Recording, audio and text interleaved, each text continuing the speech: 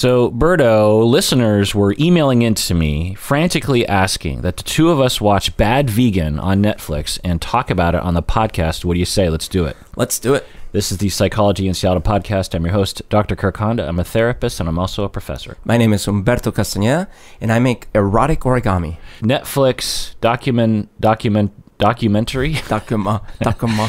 four episodes. Rotten Tomatoes critics score. Berto, what do you think? Ooh, interesting. Okay, I'm gonna give it a 85. 100. No, really? 100. 100? And you know, so that people understand what that means, it's that 100% of the top critics Yeah. critics gave it a positive review. Okay. That means that all of them could have given it a 3 out of 5 or something. Right. But it's usually a you know, it's an aggregate of the critics vibe of the movie yeah, or the document documentary. Document. Um, and so a 100% audience score. 90. I mean, I was gonna go higher audience than critics, but no. I... Audience 26. What? You've never been more far I've off. never been more wrong. 26? Why do you think the audience hated it, but the critics loved it? oh it? my god, I don't know. Is the topic not interesting to people? I don't get it. Well, let me read some of the negative, some of the half. You can give a half star Okay. Oh on my Rotten Tomatoes. One person said, "A boring soap opera about beautiful rich people getting conned." I, okay. I mean, I can kind of understand that. I- Sure. like if someone were watching this and it didn't grab them, I don't see anything like inherently are are artistic about this creation. You know, It- Absolutely. It's, a it's a news story Right. put to fancy editing, you know. Absolutely. The reason I thought the critics were lower, eh, you know, I have criticisms of it as a documentary. Like what? But, uh, you know, I, I thought the soundtrack was way over the top. It was like so dramatic every moment. Dun dun dun dun dun dun Yeah. dun dun dun dun. And then she opened the letter. Dun dun dun dun. I could see how someone would have technical problems with this. Maybe find parts of it boring. I also see the idea of like, oh, these people are so you know they're wealthy and they're complaining. Okay, I get it, but I still find it. Why was the other one we saw like the Sin- Tinder swindler? Why was that one? well, I think that's you know? another factor is the onslaught of these kinds Yeah, of maybe people are getting tired of it. Yeah, because there was the Anna Delvey Yeah. recreation. Yeah. There's the new Elizabeth Holmes recreation.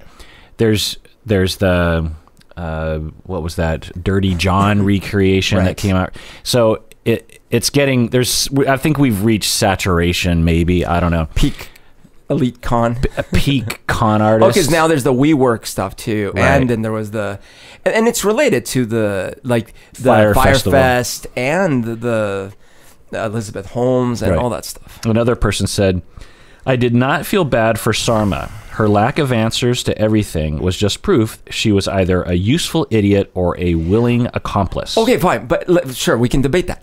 But why does that reflect negatively on the document? Well, on I don't know. docu on the document. I think, yeah, I don't know what it is about that word. I, I mean, documentary is a word that I was very familiar with, but then there were other iterations of that word, like documentarian. I Oh, think sure. that kind of got into that's a different accent. Document. daku daku. Yeah, I think that the which I kind of get. I like. Well, how many Bertos out of ten would you give it, Berto? I was I, I I I was a seven for this one. Yeah, I think I gave it a seven as well. I mean, it's perfectly, you know, serviceable. Doc- I, I found it perfectly fine. Like I said, my biggest like mechanical issue with it was actually the soundtrack. But um, I thought I didn't find it overly long. At first, I felt like some parts, but but but the chapters actually made sense. You know, like Yeah. first chapter sets up her background, what's up, and then it introduces the conflict. The second one really goes into like the brewing of the conflict. The third one is like the the really downward spiral, and then the last one's like the resolution. I thought I found that fine. Um, so at the same time, uh, it wasn't as interesting as some of the other documentaries. But yeah, seven was. Yeah. it's, it's good. The seven is good though. Yeah. I enjoyed it. I, Yeah. I found it interesting. Yeah. And the fact that it's about beautiful rich people, I don't know. I, I don't know why that doesn't bother me. Uh, of course, there's a uh, blue eyed blonde victim aspect to this, similar to Tinder Swindler. I mean, people are being conned all the time, all over the world. Why is it that we as a society or filmmakers choose to focus on the blonde, blue eyed victims as opposed to the vast majority of other victims that aren't blonde and blue eyed? You know what Oh, I mean? honestly, part of it is that uh, you can make stories about, like, you know, so you can imagine the documentary. It's like, so what? What happened? Well, yeah, like someone in my life. I'll just take it to me because I'm I was narcissistic, and all the stories revolve around me, and I go on long tangents about me. Uh, you know, many years ago, maybe 20 years ago, uh, a good friend of mine asked to borrow a thousand dollars. And I did, and you know, it took a very, very long time to get it back. Would that have made for an interesting document? Ta-ta? like, so tell me what happened. Dun dun, dun dun. I lent a thousand dollars. Well, I think it's possible that there are interesting stories of, let's just say, people other than blonde and blue eyed. absolutely. you know, Don't like debate like it. Fyre Festival is also about rich, Yeah. white, privileged victims. Elizabeth Holmes, blonde and blue eyed. Well, It's a little interesting. I wouldn't say Fyre Fest that much, but yes, in general. At the same time, I've I- you know the the thing is like, look, this was a prominent restaurant in New York that Yeah. people that would have known. I didn't know about it, but people that Yeah. would have known would have known. Yeah, as I'm watching it, I'm not thinking, "How dare you focus?" No. I think it's definitely worthy of a documentary. Yes, yeah. it's a big news story. Like Yeah. if you had lived in New York and you had gone there, that would have probably been like me. I would have always been talking about it. Probably, I've been like. Kirk, we got to go to Purple Onion or whatever it's called. Yeah, and it was a famous story enough that people in the know heard just the tagline instead of the full story, which Exactly. is way more interesting, which we'll get into. So I'm, I want to start off by asking you some questions, Berto. Is Sarma a victim or a criminal or something else? she's definitely something else. She's got she was definitely a victim, and she also committed some crimes and and defrauded some people that didn't deserve to be defrauded. Did she knowingly commit crimes outside of being brainwashed and, and uh, abused? Uh, yeah, I think I think there were some cases where now, I, I, of course, the motivations were still because she was she was in a place that she was finding almost impossible to get out of, but at the same time. Uh, she did. She knew what she was doing when she went in front of investors and lied to their faces about what the money was for, and she knew what she was doing when she lied to her friend who had lent her all the two million bucks, and said, "Oh my associate Michael such and such didn't make the flight." Like those are clear lies that she was telling someone closer. Now, was she under pressure? Did she feel scared? Yes, and so that plays into it. She was definitely victimized and you know, traumatized and all that. At the same time, I, I feel she bears some responsibility. And even in her answers in the documentary, it's it's clear that it was clear to me at least that she hadn't fully come to terms with everything she had done. So that's my feeling. Yeah, I disagree slightly. We'll get into that later. Was Sarma gaslit? I I think to a certain extent, yes, because he took steps to uh, make up fake people, uh, use her emails and things to uh, invent stories to convince her of things that were flatly not real. Told her, constantly told her deeper and deeper outlandish lies to try to convince her of an alternate reality, made her question her own beliefs and what she thought was real and blah, blah, blah, constantly. Uh, yeah, I think so. Yeah, I agree. Uh, but Berto, she lied to her friend, the investor, about who Chris was, uh, just as one example. Just straight up to his face. It is and she knew she was lying. She knew she knew that she was lying. Yeah. Is she responsible for lying and all the other things that she did? Yeah, it's one of those gray areas, but you know, if if I always look at extremes and then question whether what I would do. So imagine someone's been gaslit, they've been traumatized, they've been told that the world is upside down, and then they murder 10 people as a result. Do they bear zero responsibility? Do they bear some responsibility? I think in that case, you know, you'd probably say, like, oh man, like you shouldn't have been killing those people. Yeah, you are a victim and it's tragic, but you were 20, you were 40 or something by the time you did this. So, uh, this is not as extreme, but do I feel like she broke some laws? Yes. Do I feel like she should have known better in some of these instances? Yes. Yeah, we have some similar cases. The Manson family, for example, the three women, young women who were who committed heinous, heinous murders, Yeah. multiple murders, at the behest of Charlie Manson, uh, after being brainwashed into his cult for months, I believe, if not years. You also have the younger kid. Was it Malvo? What, what, what was that? The sniper in the Oh, car. right, the two guys, right? Uh, Well, it was the guy and then a, a much younger Yeah. kid, like he was Yeah. 16 or 17 or something like that. And he actually committed several of the murders himself, I believe. And it's this question how responsible is someone after being abused and gaslit and brainwashed? Uh, you know, uh, we'll get into that later. Uh, was she was she the actual con artist? Because the documentary kind of asks this question because you know she's the real con artist because she married him for his money. Is she the real con artist here? there's some there's some weird things about her. Uh, you know, I, I did some reading after the fact. Uh, she ended up having uh, an affair with her lawyer who was married, and uh, you know, not moralizing. It's just very chaotic. Uh, there were a few other things that I was like, man, this is a chaotic person actually. Um, so I think may, maybe there is a possibility that it initially was in her head like, oh, this guy seems to have a lot of money. This could be helpful for the restaurant. And maybe, you know, maybe one quick way to do it. I mean, they even said it in the documentary. It's like, well, you know, if, if I marry him, I don't have to pay taxes. So do I feel like there was a little bit of a, I don't know if I'd call it a con, but certainly an oppor- opportunistic angle to her actions? Yes. Okay. Uh, do I think that she was running a long con on everyone and all the investors? No, no, I don't think that. No, I think that question was one ridiculous, particularly given what phase we were in the documentary that clearly laid out the years and years Yeah. of abuse and gaslighting that she was going through. And two, just ridiculous on its face because in how did in the how in the world did she benefit from this whole situation? Yeah. she disbenefited the everything fell apart. Yep. She lost her restaurant. She went into debt, two million dollars. She went to prison. She lost all her friends. She Yep. lost all of her family. Like It'd everything. be impossible to make that as a like unless unless she was always planning to become destitute. That was her big plan. Yeah. um, should Sarma have seen the signs? Should because that's I think that's another reason why a lot of people didn't like it on Rotten Tomatoes. It's just like, well, we're basically just watching an idiot that just should have known better. I mean, what's wrong with her? Okay, so first of all, I, I always this this is my pet peeve. I just watched The Graduate. I hate that movie. Why? Those people are just awful. Everyone's awful in the movie.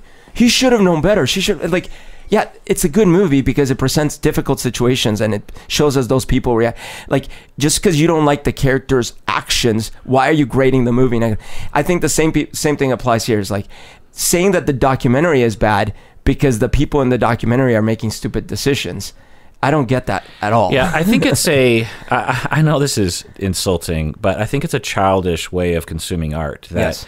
you want to have a hero, you want someone you can identify Sure. with, because you haven't graduated to a point. I'm not saying that only immature people dislike this documentary, but that criticism, I find to be, and we'll get into it when when we eventually talk about Turning Red, which will be later next week. Uh, but I I find that attitude to just be like, so unless you can identify with a hero like you know Captain America or something, you you you, you can't like it. Was was Anthony the victimizer, the abuser?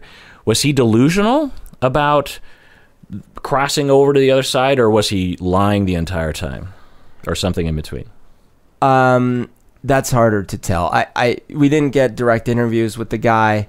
Uh, in some of those recordings that they played that were the you know the court had access to, it really painted this weird in between picture where I, th- I think like he kind of bought his own BS sometime, and he was obviously also always lying. You know, Yeah. and the fact that he invented a whole different person told her, "Oh yeah, yeah, this is my security guy." Had full ongoing conversations with her.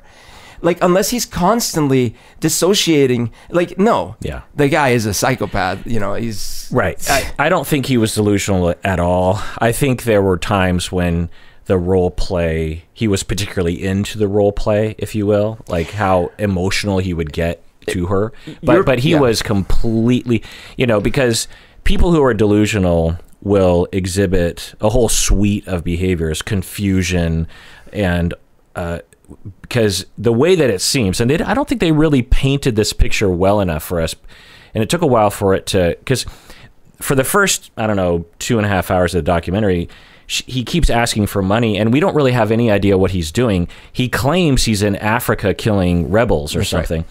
By the way i really liked how they did the thing with the with his handler. Yeah. because i'm like well wait. So maybe this is r- Right. i totally fell for it. I right and i think that totally that was fell for it. I liked that be, that uh, if you didn't you know in the documentary they have a character who they act like is a real person they're interviewing but in reality it's just a fiction of of anthony's imagination and then they reveal that later on like this person we've been interviewing the whole time isn't a real person and i thought i liked that because it makes us as viewers also having been ga- gaslit a little bit or, mm-hmm. or brainwashed.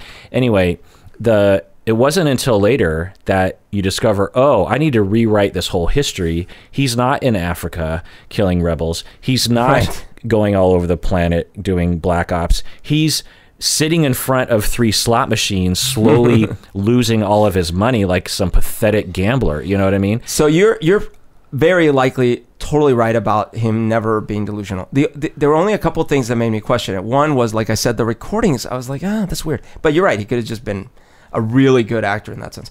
And two, that friend of his, the Russian guy, Yeah. who said, yeah. I kind of think he believed his own BS, but again, he could have just been fooling him too. I think he could have been uh, really into his BS. Yeah. Like there could have been some element, uh, some truthfulness about it, like some new age belief system. That's not uncommon, right? Like, Right. That's totally common. well, that leads me to my next question: Is Anthony's religion any different than, say, Christianity? Right. What do you think? Um, well, there are a couple differences in that, for better or for worse, um, when someone says, "Hey, I'm a Christian. Here's what I believe," they're not the only one, right? There, there's some social, societal validation that at least other people believe the same thing, and I'm not saying that that makes what they believe real. Well, what it what it is, it's not coming out of left field. So when I show up at your house and I say, "Hey, Kirk, uh, just so you know, I am from Jupiter, and uh, we're invading next week. But if you give me all your money, we'll, we won't invade, right?"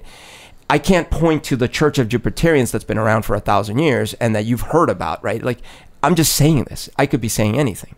So you know, th- there is that. There is that difference. Um, but other than you know, making inventing a, a a set of beliefs and some things like that, like it's kind of hard to tell them apart. You know, if if you are into those kinds of beliefs, also, yeah, someone in the documentary threw all us vegans under the bus when it's like, well, you know, vegans, they're into all this new age bullshit. they like believe all sorts of weird stuff. Uh, was their sentence too much, too little, or just right? So, just to catch you up, she got four months in prison. He got zero in prison, but he already had spent a, a year in prison before the trial because he couldn't make bail. Uh, was it too much, too little, or just right? So he's a dangerous individual. It, it- I don't know what is right, the right amount to keep him away from society, but he's a dangerous individual. There's no way one year time served makes sense because he wasn't even evaluated for or tried for what really was going on, which was his ongoing years long abuse and defraud of this person and her family he was only evaluated for the the investors that lost money and it it just doesn't make sense. Now as far as her uh i don't i don't know. I i don't know what the laws say about how much you should serve based on defrauding investors and stuff like that so. Yeah, I mean, I don't think anyone believes that Sarma is going to not have learned her lesson one way or the other, you know? So I think that if we're talking about recidivism and fairness, I think four months makes sense to me. But yeah, for him, it's this weird question because, of course, emotionally, I wouldn't mind if this guy was locked up for the rest of his life. He's a menace to society, and he probably offers nothing to nothing good to society. you know, he's not like a a fireman who like saves people from burning houses, or he doesn't create art. Like he's he's he's a menace and he's a compulsive gambler who keeps he, taking money from very vulnerable people. Right, and he's not going to stop. You know, there, this yeah. is a, there's a chance maybe, but given how psychopathic he is, it's I wouldn't have a problem with him being in prison for 10, 15 years. Uh, it would seem commensurate with the abuse that he uh, uh, committed. But on the other hand, you look at the law and you're thinking, well, he you know, didn't really break severe laws. And he just asked his wife for money. Hey, yeah. I need money for this religion thing. And he pressured and made promises, but we do we really want the government to be involved in those kind of conversations? You know, say like I ask you for money, Berto, and I say I have this, you know, wonderful uh, opportunity where you're gonna go to heaven, and I'm gonna I'm gonna spend ten thousand dollars on a shrine to you, and it'll give you uh, something in the afterlife, and you give me that money, and and I choose to gamble it away. Do we want the government to somehow get involved in those kinds of discussions between people, uh, particularly in a marriage? And I, you know, I don't know the answer to that question. I, I think that these, you know, when we see Tinder swindler who goes to prison for what one or two years and is right back at it yeah. as soon as he's. I just feel like there has to, you know, it's. I said this during Tinder Swindler uh, episode that we did. It's similar to racketeering. You look at uh, Al Capone and other mobsters, and you look at their actual behavior. They're not personally doing any crimes. They are just a leader of a uh, an informal organization that anyone at any time could leave if they wanted to. People are making personal choices and he's giving directives and you could say with intimidation but it's it, he didn't actually pull the trigger. Someone else pulled the trigger. He didn't actually steal the thing out of the truck. Someone else did, did that. So and and and they kicked money up to him because they out of respect to him or something.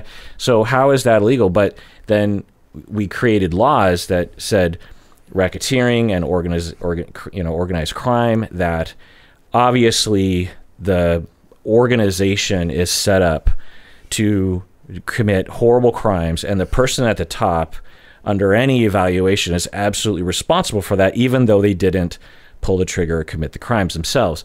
And i think that when it comes to these kinds of crimes similar to stalking actually. Right. Because do we really want you know what people will say it's in the the liberal point of view, not liberal in terms of liberal or conservative, but liberal in terms of the way it used to mean, which was anti-governmental power. Right.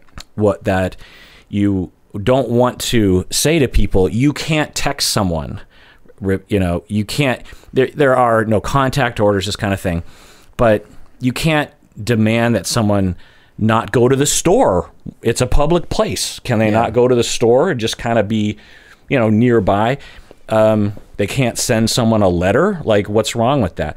And but again, the the I don't I, the the victimization of stalking, the victimization of gaslighting and abuse, I find to just be so obvious that it should be criminal. I don't mind that being part or a conversation for lawmakers.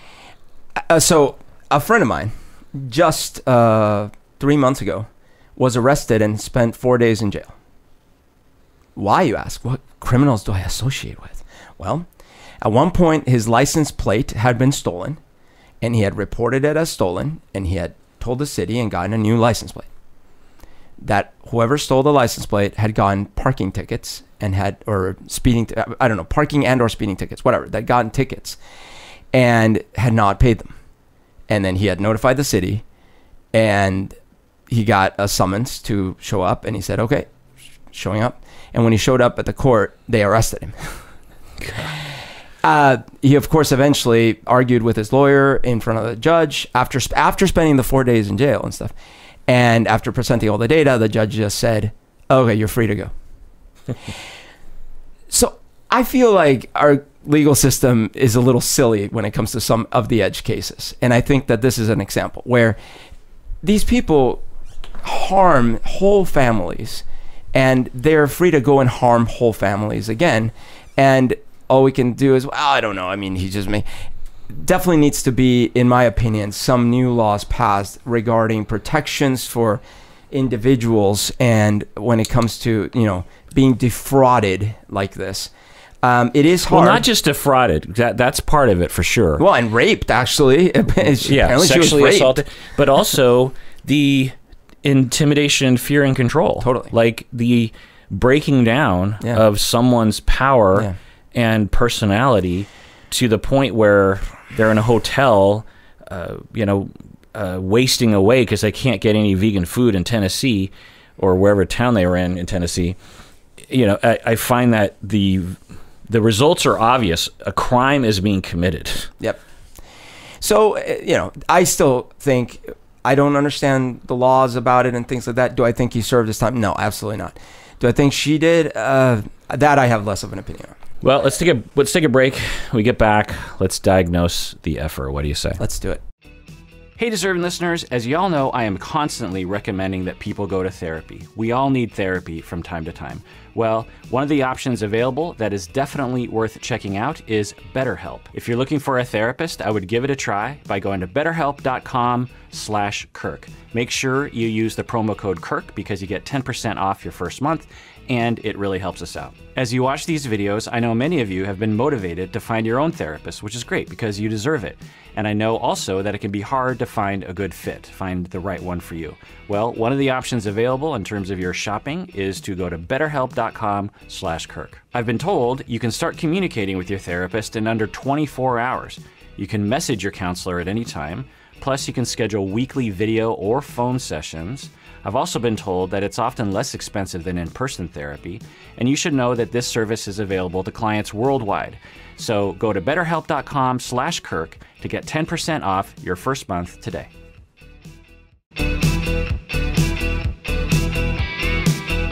All right, we're back from the break. Before getting into the rest of this episode, I have an announcement to make, Berto. Mm. So, a little bit ago, so dear listeners out there, I want you to really listen to this because I'm angry at you. Oh, I'm joking. But what happened was, I, long story short, became alerted to the fact that I had messed up in my editing of the episodes such that I left in a minute of silence. And actually, I'm angry at you too, you, too, Berto. There was a minute of silence, just Okay. just dead space in six episodes over the past six weeks. What? Yeah, Like, wait, wait, in the middle or at in the, the, end? middle, in the middle. Yeah, around the time the break would happen, there'd be this minute of silence. What? I'm guessing people don't care about this sort of thing, but I am a perfectionist when it comes to this podcast, and I always have been. Having even just a few seconds of silence will keep me up at night. Having a full effing minute over six weeks. So, for a month and a half, I have been publishing episodes on accident with a minute of silence in the middle of the episode. So, that's mortifying to me. No one told you? That's what I'm angry about, Berto. What? Did you not listen to your own episodes? Well, first of all, is the is this is the ad on YouTube? the minute of silence was in YouTube. Maybe I haven't heard the whole episode then. It's in Rebecca episodes. It's in your episodes. It's in Bob episodes. So I'm like, is no one one, my co uh, like my co-host? so I definitely don't listen to most of the episodes we record. okay. Well, Yeah. if you don't, then you don't. And obviously, I didn't. Yeah. So what are you going to do? I mean, I listen before I edit it, but anyway. But that the fact that no listener, because the thing is, is I've been doing this podcast for 14 years, and in the beginning, when I would make a mistake, someone would pretty quickly email me. Yeah. They would say, "Hey, just to let you know, da da da." What? That's so bizarre because people comment about all sorts of small stuff. They'll they'll complain about anything. Anything. The a minute of silence, no one said anything.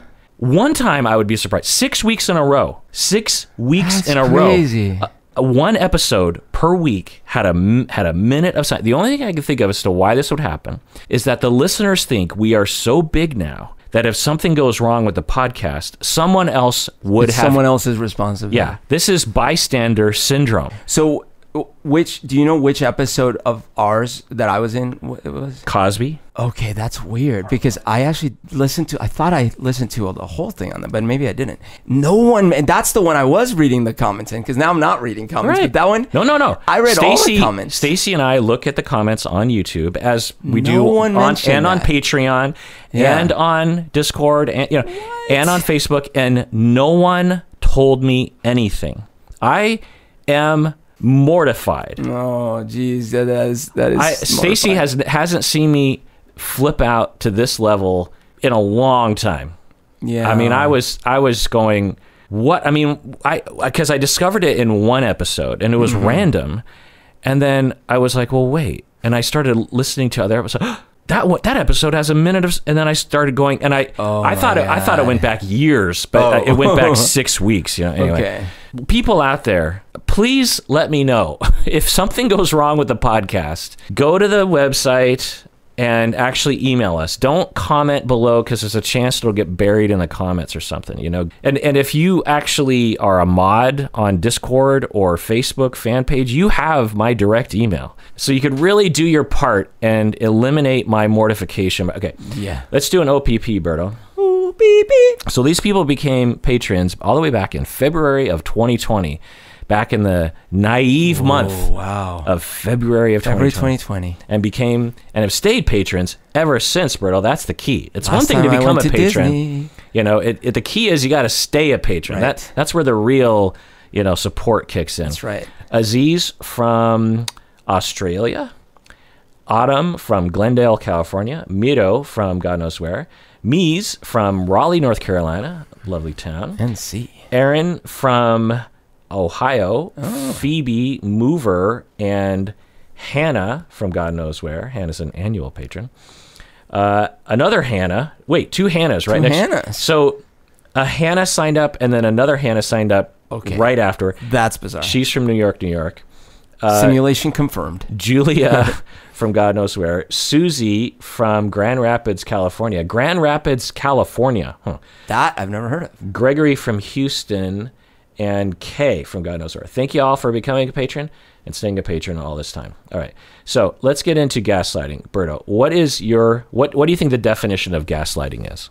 We've been over this Right. many times before. I know it comes from a movie that I don't think I ever saw, but in general, I think it's when someone uh, aware, being aware of what they're doing and consciously uh, deceives someone else to make them believe that what they think is real is not real, and they, they want them to believe uh, an alternate reality, uh, probably for malicious purposes. They're trying to, you know, abuse them or take advantage of them in some way. And so they they just, you know, they lie, they set up situations to make them think something happened when it didn't. They just flat out tell them that something happened when it didn't and ultimately the other person just starts questioning what is real and starts only trusting in that person. Yeah, it's mostly right. The one detail I would add is that it's not trying to convince the victim of a reality. It's trying to convince the victim they don't know reality. Hmm.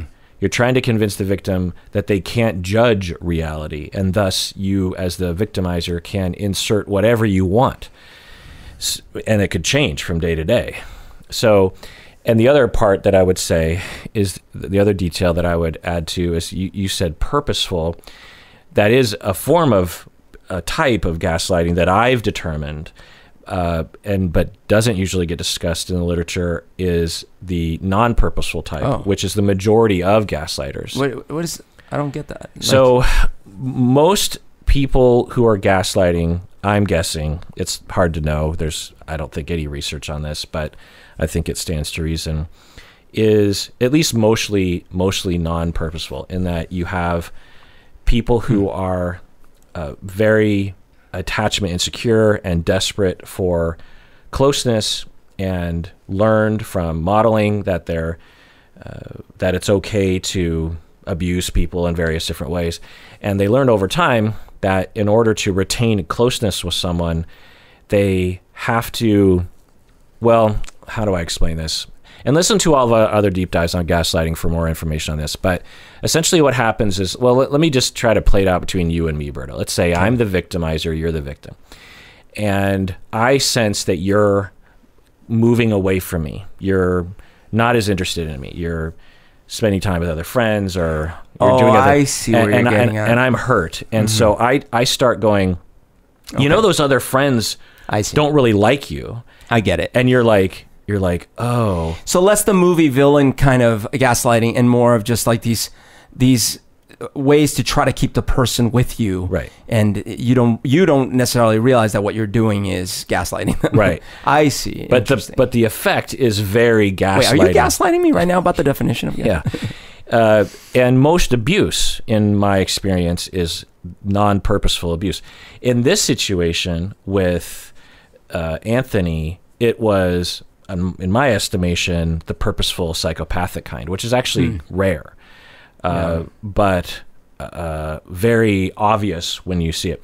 The other type that we've I've developed over time in conversations with the listeners and others is what I'm calling systemic gaslighting, which is like organizational system gaslighting, like when you're a black person in Jim Crow South and you feel powerless and you're trying to ask for voting rights or or respect or equality and the system is saying but you are equal there's Yeah. nothing th- Right. there's no law that says black people are lesser you have all the same opportunities as everyone else Yep, yep. it must be something about you you must be you know and the perpetrators of the systemic gaslighting uh, probably uh, in the majority of them and in their minds don't really understand that they're gaslighting you know Yeah. it's just it's it's motivated reasoning on their part because it, priv- it it supports their idea that they're special or Yeah. deserving or something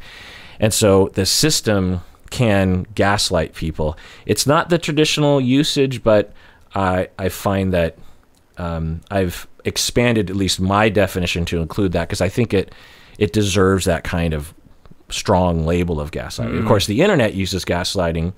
Do you know how the internet and, and the general public uses gaslighting today?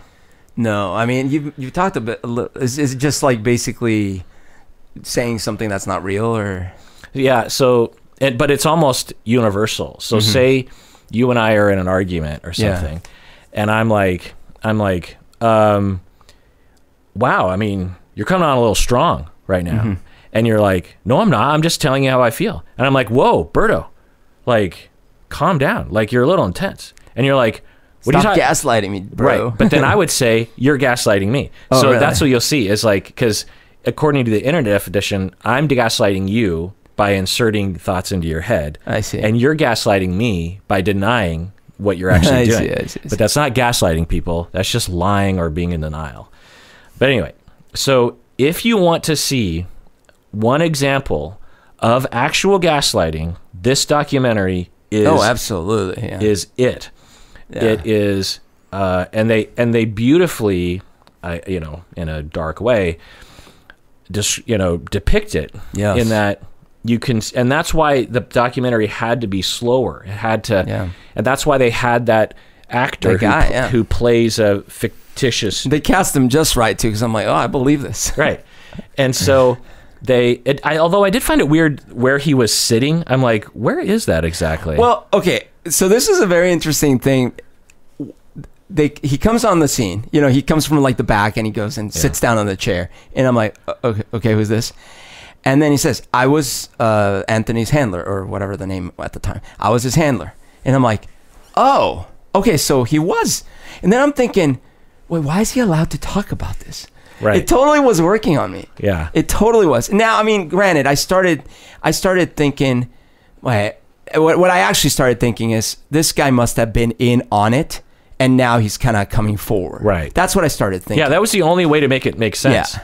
Because certainly after a little bit, I was like, okay, no, he's not really doing all this BS. Yeah. But I didn't think that it was uh, him just li- pretending to be someone else. No. That was a good get. yeah.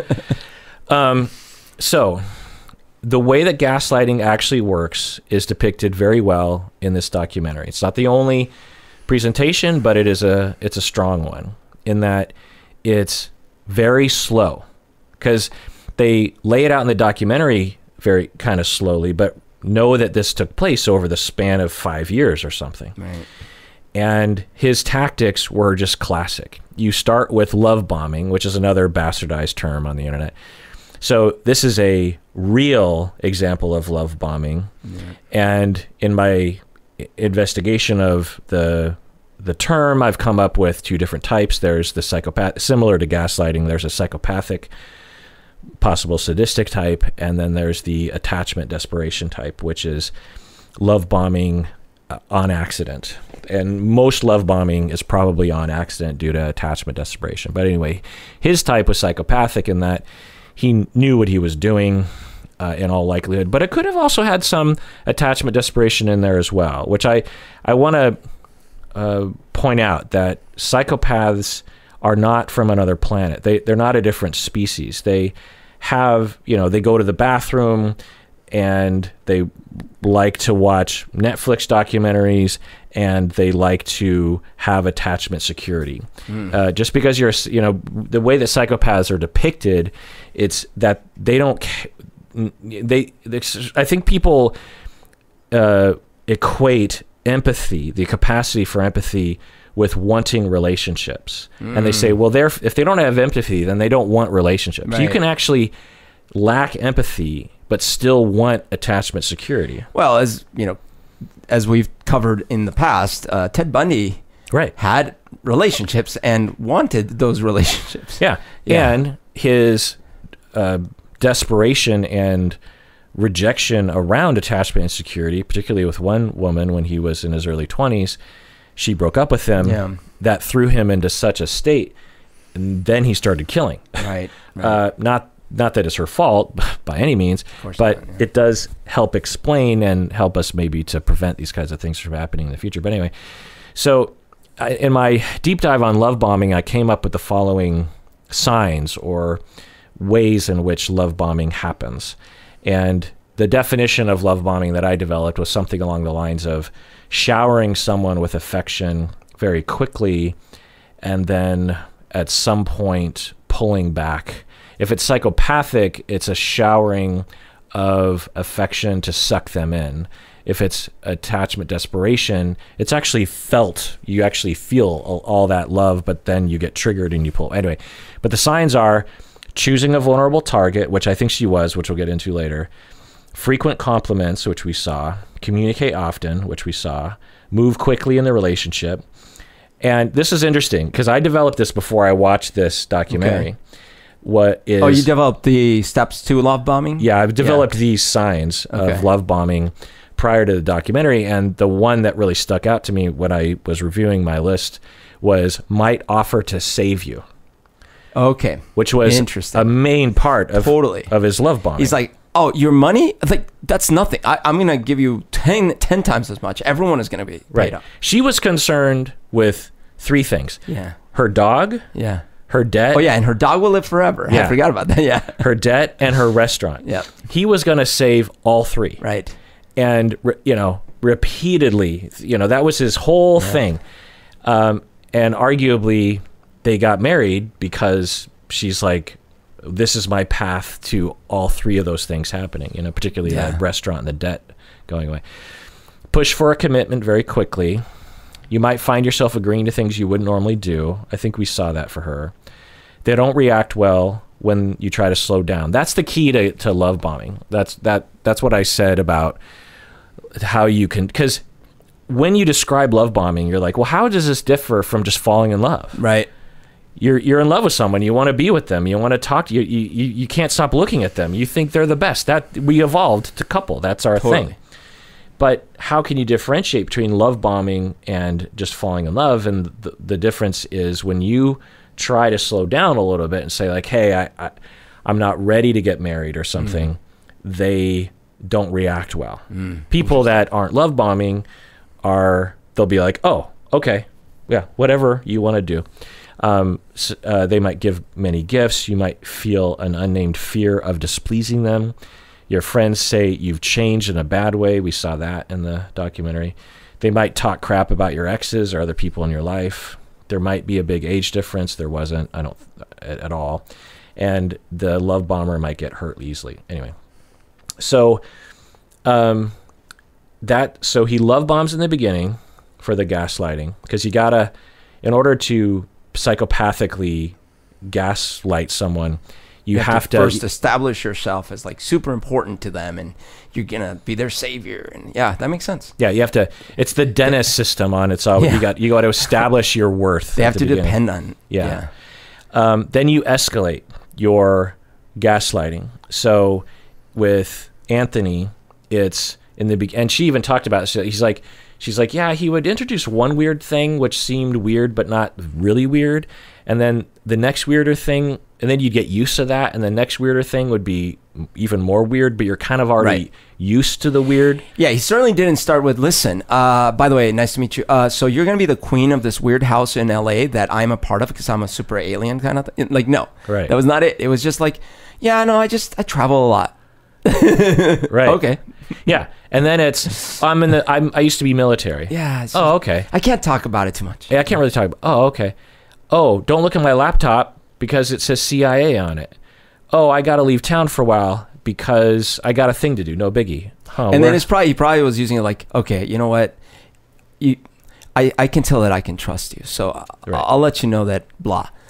right. So just think about Yeah. it, it, especially when you're in a romantic relationship. You're talking every day, all day. Yeah. So just think about every little iteration as as you start. brick, with- yeah. brick, And this shows to me that he knew what he was doing. Yeah. that he had already conned or had tried to con and learned from his mistakes from the past. When we heard from his um, First ex, wife. that- but I'm yeah. guessing there were other relationships in between there Right. that he made that he screwed up, that he Right. failed with. Because when he came in with Sarma, he had it down. He had a slick story that was impervious to investigation. Because if you're black ops, there's no record of that, right? Yeah.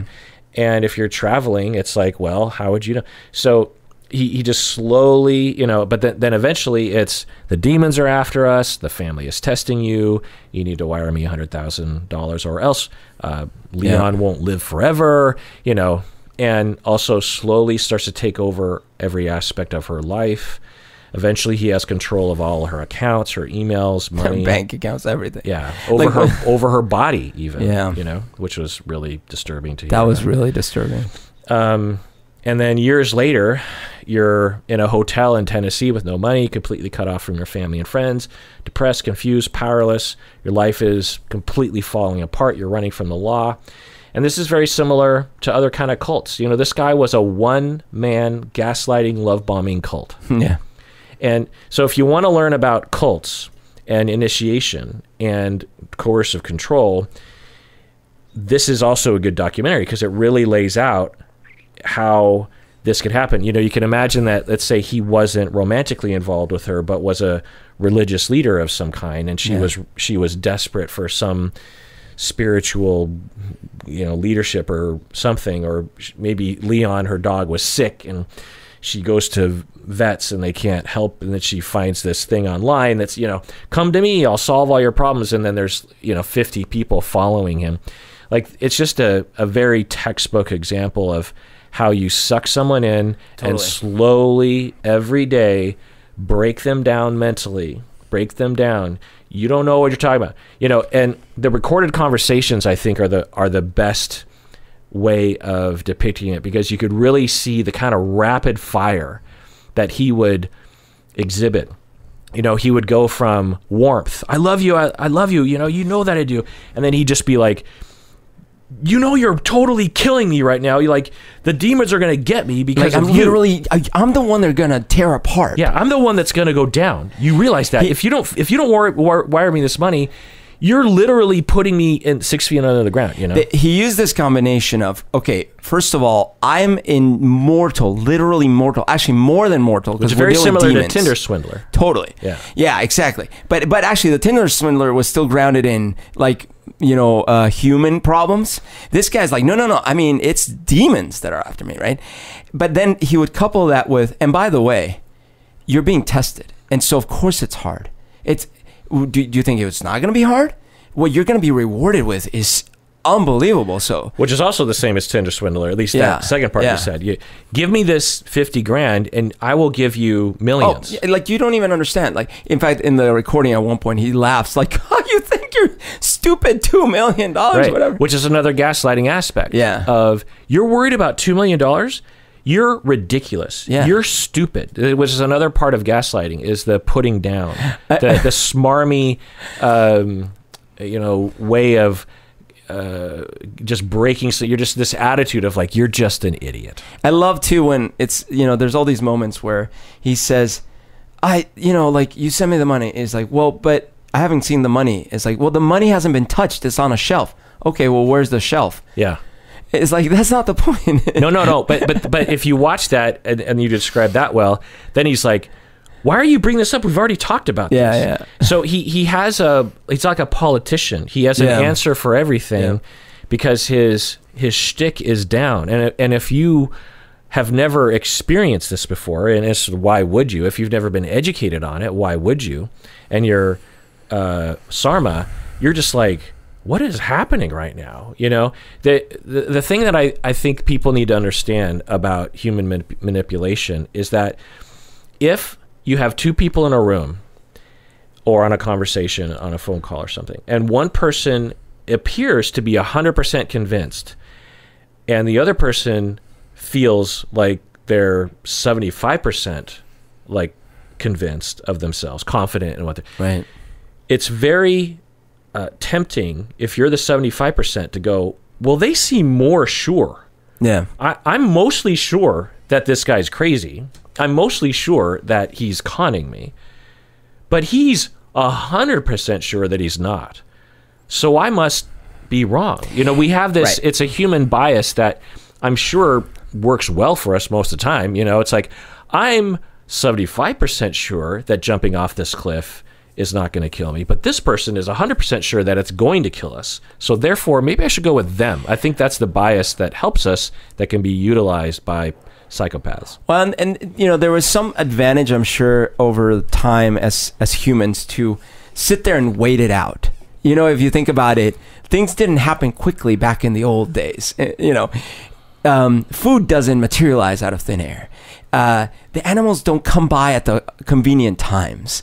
The crops take a while to grow, right? So we kind of developed this need for patience and hope. Like, let's just hope the river comes by this time and the water comes and the plants grow because Yeah. we gotta just wait it out. Okay. And Especially so- if someone seems so convinced it's going to happen. yeah, and so she's looking at it like, well, there were these signs early on that he was doing some things that I can't quite explain.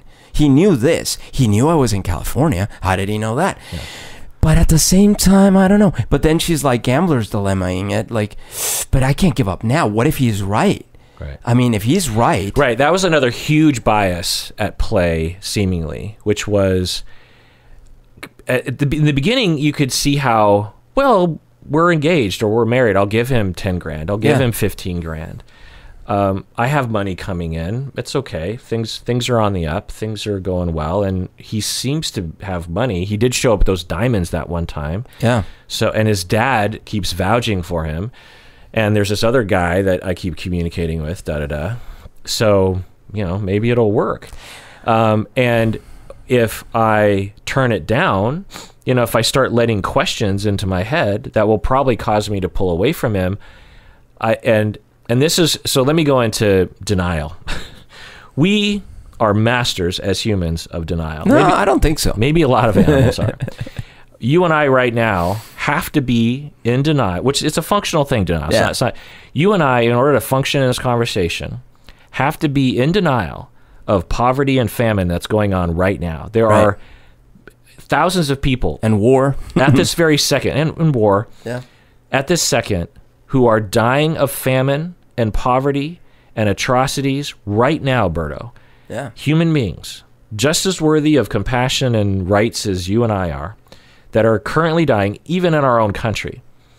If we focus on that, we wouldn't be able to get anything done. Right. Right now, not that we don't ever, not that we're always in denial of that, Yeah. but we have to be able to compartmentalize to function. Right now, we, you and I, in order to function in this conversation, we have to understand that you and I even by just making this podcast and moving electrons around, it's actually not technically moving electrons, but you know what I mean.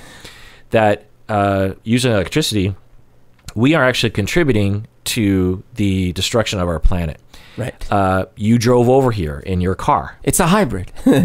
and you, you- all the things that we're doing, you know, Yeah. the clothes on our back have petroleum all Yeah, over yeah. it, and I, t- I take showers with petroleum. we have to be in denial of that in order in order to function.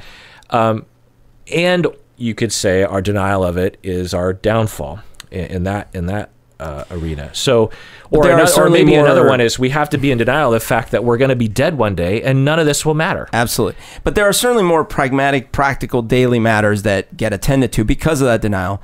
Uh, you're obviously leading to the fact that there's these chronic, like high levels of denial at play Yeah. in these situations. right and so for sarma and i think this is the piece that i if you didn't understand watching it and i'm guessing many of you did out there in podcast land but if you didn't it's you're looking at sarma and you're just like what is wrong like especially as the threshold started to be crossed $20000 a $100000 $500000 at what point do you say wait no no no no no this is too much Denial is a very useful mechanism for us that can be utilized or engaged when it causes destruction for us. Like when you're in a relationship with someone who's abusive, when you're in a relationship with someone who has alcoholism or something.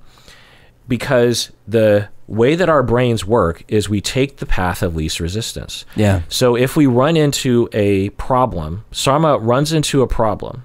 She wakes up in the and you could tell even in her conversations that she recorded with him that she had some skepticism. Totally. Wh- Okay, where's the shelf? She's Yeah. like, the money's on a shelf. Where's the shelf? Okay, Yeah. she wouldn't ask that question if she didn't have It's some like, I could pay that loan. It's like, well, do it. do it.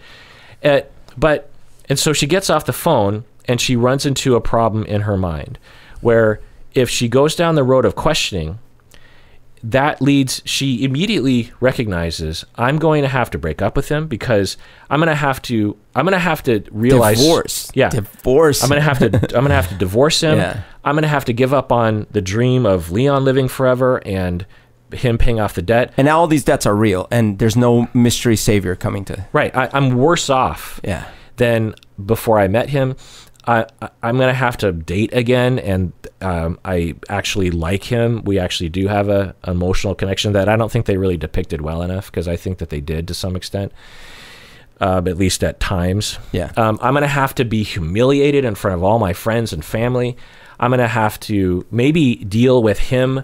God knows if he is in the military and he does kill me and my Yeah. friends or Leon. Well, she she was clearly afraid for physical reasons because she would ask him, "What what?" Because he would be like, "Well, you're so tough because I'm not there in person," and she would ask him, "Well, what are you going to do to me if you if you were Right. here?" Well, I think she was baiting him at that point. Certainly because they were recording it, but Yeah. still, like it's Yeah. you know, But yeah, so or so you can face all that just horrible, horrible, horrible uh, consequences in a whole, including death, or you go into denial and you just say Yeah. to yourself, "It's not true. None of that is true," and I'm just going to go through my day. And there are different levels of denial. There's a level of denial that's deep where it's almost like delusional and you're fully brainwashed. There's also levels of denial where you're just like, well, I just don't want to deal with it today. I just have to get through one more day. And you're just in survival mode. And that's at least by the time the recorded conversations happened, it kind of seemed like she was in that space where there was a big part of her that knew something was very wrong. But there was another part of her that probably woke up in the morning and was just like, I just, maybe, but maybe it'll work out, you Yeah. know? And I just have to hope that it works and I just have to get through today. And everyone is capable of that victimization and that gaslighting and that denial. And until you realize that out there, you are vulnerable to victimization. You have to know I could be a victim of that because when you recognize that, you can protect yourself from the early signs. So a couple things. One, uh, she not only was, uh, you know, like you're saying, um, starting to question, but her friends around her were trying to, you know, kind of help her, give her hints in that sense.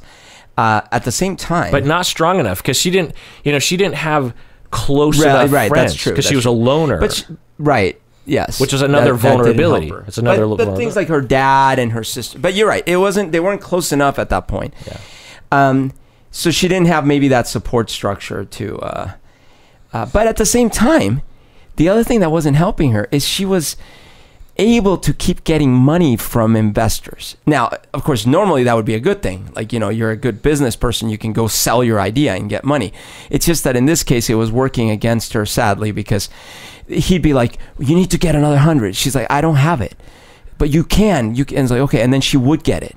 yeah. And that, that was not only enabling him, but it was enabling her to kind of keep going in the train. Yeah. So I I can relate so much to the whole uh, actually the gaslighting aspect because of my dad. You know, he he was um, a child psychiatrist, made good money in New York, and then moved to Colombia, and he started having issues and whatnot. But the the thing that started happening is he would start asking people to borrow money, and because he was the big hotshot you know, had made it out of the country, gotten his big degree. He was the big doctor, right? He was Doctor Castañeda, right? Like everyone looked up to him. And he came with money. So at first, when he would ask for money, it was like this very entitled request. I would hear and watch him. And so someone would be over and, and he'd say, uh, dame ahí, which is like, give me here. Like, so it'd be something like, oh, I need to go to the store to buy some coke, not cocaine, like drinking coke. But really, he was going to go buy cigarettes and probably pot or who knows, maybe bet on some some uh, gambling thing. Either way, he'd say like, "Oh, give me here." And at first, people would because why wouldn't you? Like he's got so much money, eh, he's always paying for things. Yeah, of course. Here, Oh, I didn't know that. This is an interesting detail Yeah, of, yeah. of your childhood. this is how it started. He would say, "Oh, just give me here," and then that graduated to. And at first, I didn't see this because he wouldn't do it around me, but but then I started noticing.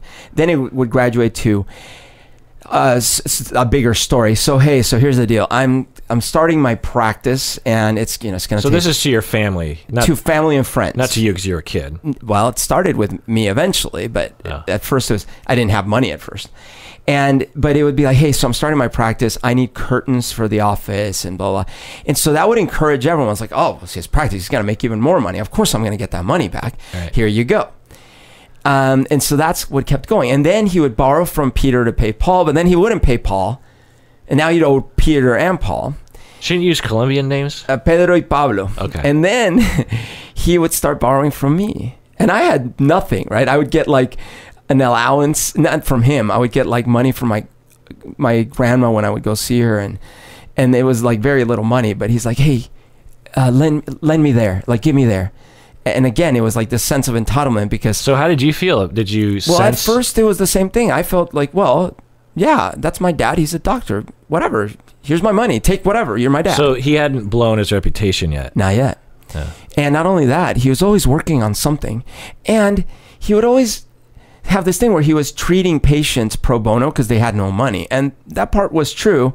But it was like this very chaotic situation where he was making no money anymore. And whatever money he was getting, he was blowing it all. Yeah, you've mentioned that before. I mean, uh, what's the evidence of that he did it and that it was extensive? Because that could have been a thing that he would have said. Do you know what I mean? Oh yeah, no, sure, absolutely. That could have been. Um, so I, I know for a fact that. Well, the thing is that there were a few families that we knew as a family that were poor and they were lived in poor parts, and they were always very kind and, and deferential to him Okay. because he was helping them out. And I, he is a good person in that sense. It's just that he also had this problem. And so it was this weird mixture of like, yeah, it, plus it helped his case in his own head. He's like, hey, I'm a good person. I think this society is corrupt. I think these politicians are all pigs, capitalist pigs. I think this is a mess. But I'm doing my part because I'm I'm treating these people for free Even though I'm conning my family. even though I'm conning my family for money because I'm yeah exactly.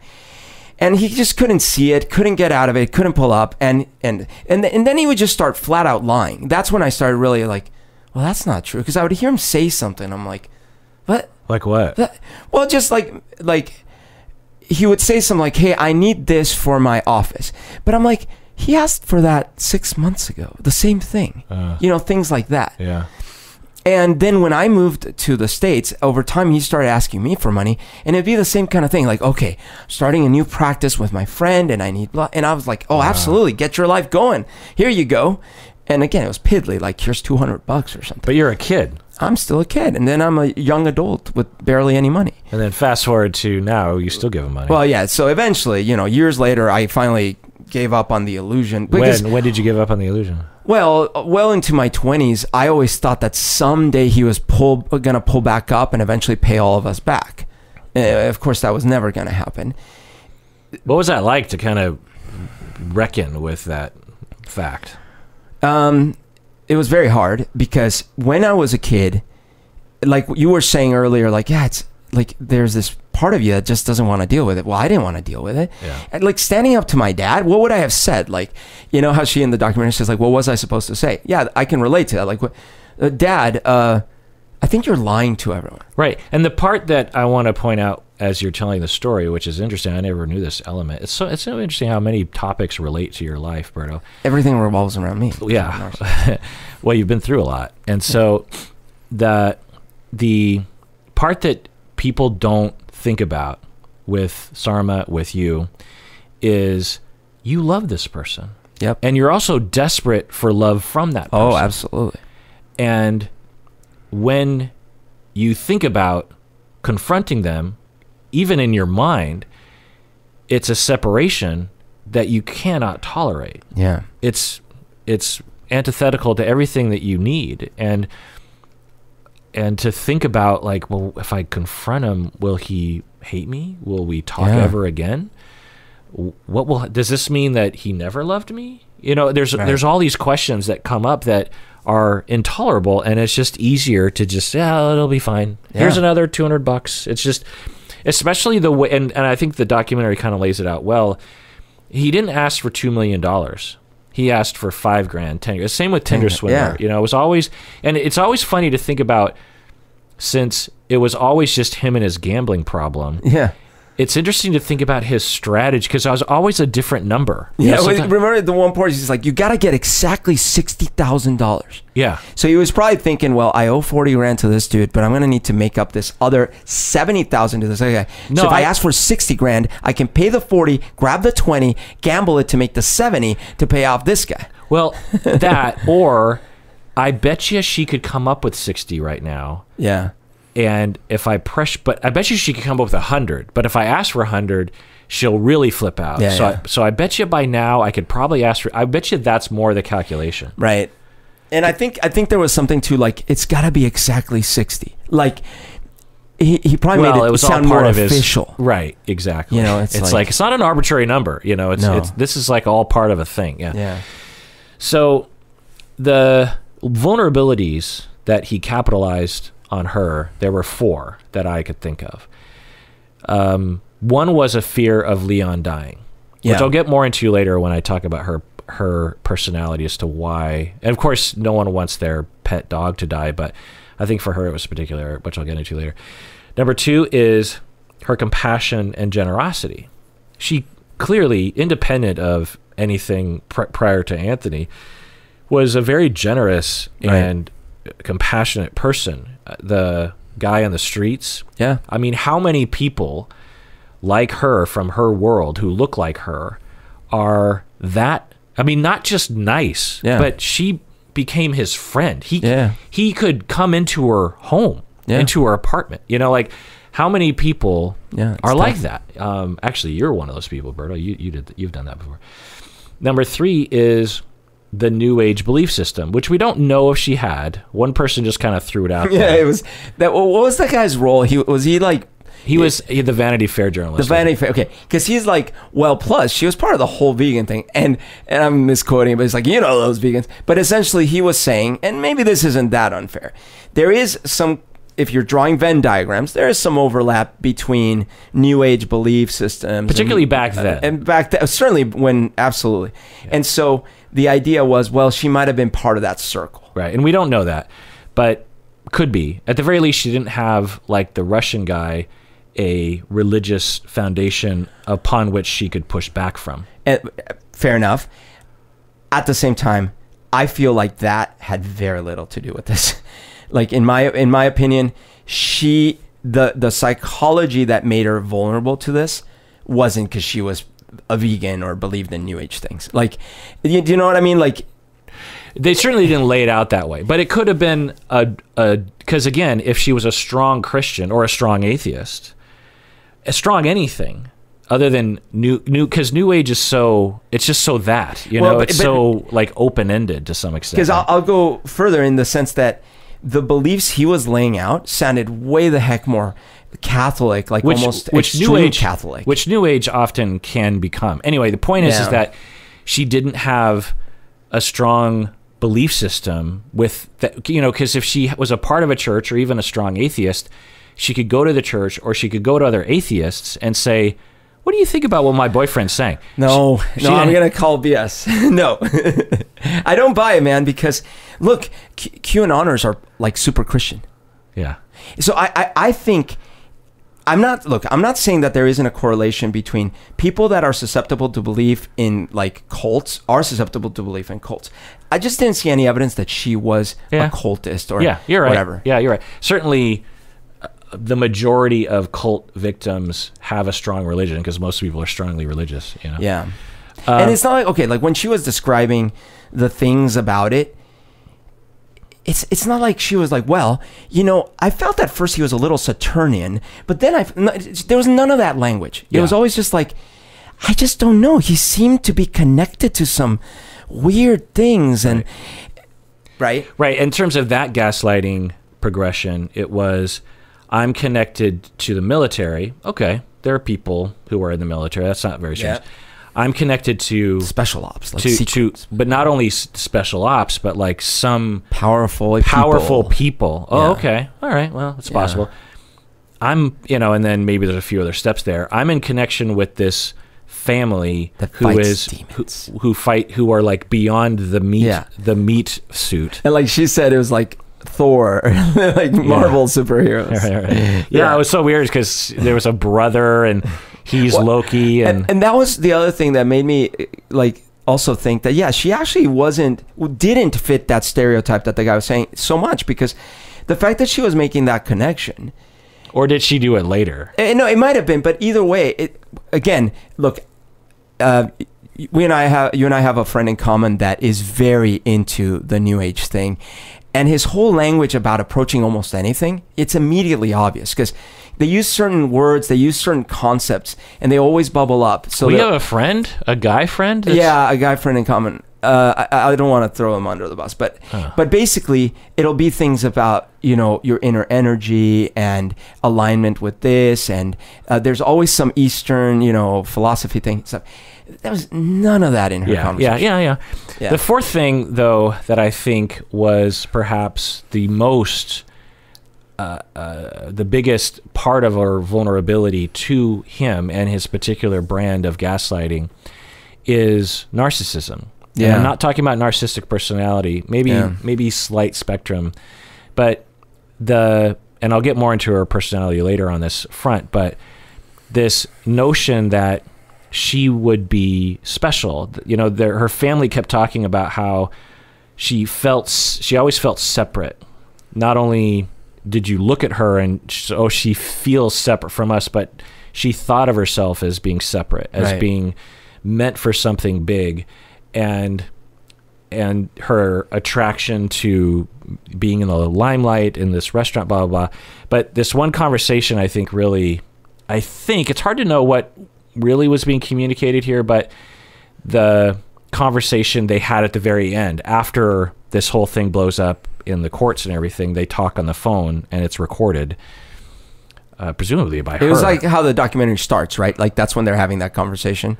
um, well, it also where played it at like, the they're, ma- they're making a documentary about this. No, no, no. This is this is this is at the very end. Oh, the end. Okay, yeah, got it, got it. and and and you're like, wait, Sarma talked to him after, After all this, and Yeah. Anthony says, you know, he says, um, oh right, when he he calls her, he's like, "How you doing?" He's like, Right. "Well, not great." You know? and then at some point in the conversation, he says, in a long period of time, I've been all over the world, been in Right. in all different places, and met all sorts of people over a whole lot of years. I love you. You're the smartest person that I've ever met, okay? And you're the most beautiful thing. And she says, "Well, actually," she, she says something like, "Actually, She you're says- right about that." She says, "It fucking pisses me off because you're right." yeah, yeah, That is a that's an interesting exchange very interesting. because in when you look back at the gaslighting, it really was there was a thread, a, a theme of you're special. You're going to be the boss. You know, that is very. So I caught that as well, but I, I didn't think of it in those terms. But I definitely found it odd because the takeaway from that conversation to me absolutely would not be, oh, I guess, yeah, that sucks that you're getting it right because I know that. Right. But yes, you're right. I am super smart and the best person you've met. Right. That's very interesting. Right. Yeah. So let's get into her personality here. um, so I'll get into well, let's talk about avoiding attachment first because I think I don't know, but I saw a lot of signs. One is that sh- her she journaled a lot, and so avoidant attached people early in life give up on reaching out to other people, and one of the ways, and if taken to an extreme, they will stop emoting to other people. Mm. They'll stop reaching out. They will become very inner focused and they need to talk to someone, but they don't really trust other people or and they, they don't even really think of other people as as people they can talk to. yeah, or as to be utilized that I way. see. It's just other people, you know, why would I talk to someone else? Hmm. And they go inward and they journal a lot. So we saw that. We also saw that she was super Were, sorry, were those the writings they kept showing? Is that actually like she was journaling? Is Yeah. that- okay, got it. and she became super attached to her pet dog, which can happen for. So you avoid and attach people out there, particularly you moderate to severe. There are many different presentations because it literally comprises of like a third of the population or something, maybe you know a quarter. Uh, I bet you some of you can relate to this, in that you you don't ask for help, you don't talk to other people when you're suffering. You either consciously understand that other people aren't going to be there, or you just don't really think of it. You don't Yeah. think to even reach out, or you consider it a weakness or something. But deep down, you have a lot of attachment needs that are not being met because you're suppressing it all. Hmm. But then you come across a pet. And they're, the pet needs you, you know, or Yeah. a child. Honestly, you could have a child as well, but particularly a pet. A pet, and all of a sudden, you are like, oh my god, I'm a dog person, you know, or I'm a cat person, and you start having those bumper stickers that say, um, "The only human I like on the planet is my dog," or something. like- and uh, if that isn't a bumper sticker, it should be. But the feelings come pouring out because you don't associate neglect Yeah. and coldness with the dog. One, because it's a different species, and two, because dogs are just so unabashedly in love with you, usually. And so, for some avoidant people, and we kind of saw that with her. Like, the only person she seemingly showed consistent attention and attachment to was, was her dog, dog. yeah. And then she becomes so desperately connected because it's the only relationship in her maybe entire life that she's ever been truly vulnerable and open with. Do, do you imagine that she started showing anxiety around her dog's health and that he capitalized? Or do you think he just like intuited that maybe Yeah. living forever was something that she might be interested in? Probably door number two. Yeah. Um, the dog is, I actually looked it up. The dog's still around, alive. Yeah. So the dog must have been pretty young. Yeah. And probably didn't have medical problems. at Right. So it's kind of that's one thing I found very odd was like, look, I've had pets. We, we've talked about this. We've both had pets die, and Yeah. It's tragic. It's super sad. Um, I certainly wouldn't have felt that I would have been that vulnerable to someone coming along saying, "Hey, by the way, I can make your pet live forever." Yeah. You know, especially when they're young and you don't, you know. But if, and it, I think they painted it pretty well, the severe attachment that she had with her Right. pet. Um, another kind of a very loose speculative hypothesis uh, is around neurodivergence, either autistic, gifted, sensitive, something. Uh, she exhibited some people with those differences can sometimes be very they can become loners because they don't feel like they relate to other people very well I wanted to ask you about that because in the now it's hard to tell, you know, obviously we're not seeing the whole gamut, but both in the interviews, in the recordings, in the descriptions from other people, she's kind of she's very muted. yeah right so it could be avoidant attachment which you know that's it could be part of that it could be either or and you know um, autism giftedness uh, you know a variety of other things Yeah. uh, it could be other kinds of personality issues that result in being, you know, like there's OCPD, there's other personality disorders that can cause people to be very blunted in terms of their emotional expression. Uh, but we heard from her sister that she was always that way. Yeah, To the point right. where the sister said, I had to do the talking for her. Yeah, right, right, right. I remember that. Yeah. Yeah, so, So- that's true. So there's something about her that is, you know, particular, and I think that also played into this whole thing. And then now getting to narcissistic spectrum is the rules don't apply to her was mentioned. Right. The feeling of being separate, you know, quiet superiority, likes being on stage. You know, she took to the fame of the restaurant very well right. um, but lacked closeness behind the scenes, driven to achieve, perhaps entitled, and and a lot of her selfies seemed. I mean, I know people take selfies. I take selfies, Yeah. but there was something about her selfies that were very particular. She was always she was never smiling, Yeah, yeah, exactly. and there were many of them. yep. You know, Well, so I, I was mentioning that she ended up having this affair with her lawyer as they were uh, doing law- their trial and stuff, which he, he that was certainly unethical of him. Um, uh, not to mention he was married and stuff like that. But uh, they show. I read through the exchanges, the text messages, and it's the same thing. Like he'd be like saying some really hot and heavy stuff, and then she'd reply with a very plain reply. Uh, a honestly, there might have been an element of like she she felt like she wanted to do this to try to see if she could get something out of the like a better lawyer out of the deal, essentially. is that what is that the allegation? Well, uh, what I feel is he was using his power that way, Yeah. and she might have been vulnerable to it. So uh, it's not. But in either case, her responses were like not enthusiastic at all. Yeah, right. So, which leads me to the last uh, speculation, which seems to have a fair amount of evidence, which is a lack of connection with self, which would fit in with narcissistic spectrum and avoidant attachment. Uh, there were three different data points. One is is that she's at UPenn and she's studying econ, and someone's like, the way this is her story. Someone comes up to her and is like, "Do you like this field?" And she's like, and she, she says, "No one ever asked me that question." yeah. She didn't say, She didn't ask herself that question. and she didn't answer the question. Yeah. She didn't say yes or no. And then the other person gauged her response and said, Well, you seem to be really interested in food. and then she became, Yeah. then she dropped out a year later and became uh, Right. trained as a chef. And none of that screams, I want X. It screams, I don't know what I want. Yeah. You know? And so that's a lack of connection with self. Now, at the same time, you know, she started that company with clearly had a vision for it.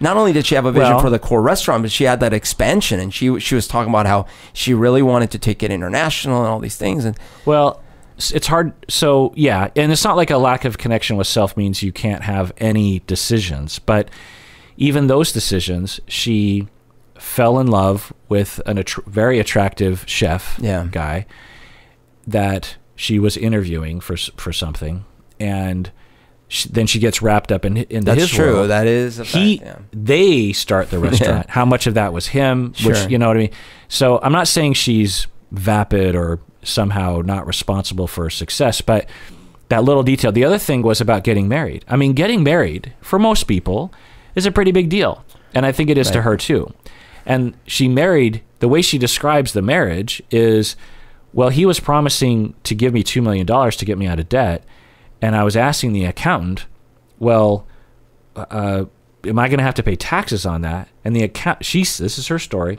The accountant jokingly said, well, if you get married, you don't have to pay taxes. Yep. And so we got married. Yeah. That doesn't sound like someone that because there's an because if, if you had it I, if if I heard someone with a connection with self, they would have said, "Oh," and then I thought, "Well, this isn't how I ever wanted to get married." No, right. and but I did it anyway because I was so desperate. You know, right. Instead, it was just very transactional. Yeah, it was just like, oh, okay, let's get married. You know, that when you are lacking a connection with the self, yeah. you don't have anything to guide you. You just have like vague logic, which isn't usually how ma- people make decisions like this, you know? So, and she was easily victimized. When you don't have a connection with yourself and you don't have a foundation, someone else can come along and create one for you. And that, and that's why I was suggesting that it, it felt to me from both reading the article and reading through the text, it was like, oh wow, this person's vulnerable because this guy comes along. He's cle- clearly clearly an unscrupulous lawyer, and like, you know, hotshot. He's defended a lot of scumbags too. Like he's uh-huh. one of those, and he he just like got what he wanted out of her. yeah. She doesn't, you know, just So let's talk about Anthony. So what we know about him from the documentary and other reports that I read, father was alcoholic, abusive, police officer with a gambling problem, threat at least once threatened to murder suicide in front of Anthony. That it was a confrontation with a gun that lasted several hours with Anthony watching right there. As an adult, the father and Anth- Anthony lived in a van and would travel around to different casinos. That was something that I don't think was in the documentary. The uh, brother said Anthony was obsessed with money and power, but didn't want to put any work into it from an early age. By the way, is his actual real name Anthony? Yeah, Okay. yeah, Anthony uh, Strangis. Okay. Um, so She still called him Shane a lot, and then also Anthony. yeah, and then Yeah. Christopher and da da da. Yeah. But so, what diagnosis do we give him, Berto? You should know by is, has ha- have I educated you on nothing? And I've already said it. Or No, I mean, I, I think he was a psychopath, or he is a psychopath. right. He's a Yeah. classic presentation of Hare's conceptualization of psychopathy. Yeah. Um, so let's go through the criteria. Uh, the first category is pathological lying and manipulation without any remorse or guilt. Constant and easily. constant, just constant lying. And when people talk about like, oh, you know, Chris Pratt's a psychopath because of that tweet, it's like, come on, people, no, watch this documentary. That's a psychopath. That is, I mean, he probably lied ten thousand million times. I mean, it was it was it was constant. Um, he lied about everything, uh, and, and total lack of remorse or guilt, total callousness, and total failure to take responsibilities for, for his own actions. It's just classic psychopathic in that way. Feeling uh, another category is feeling superior and entitled, obsessed with power, and intimidating people with your narcissistic rage when people get in your way. Did he do that, bro?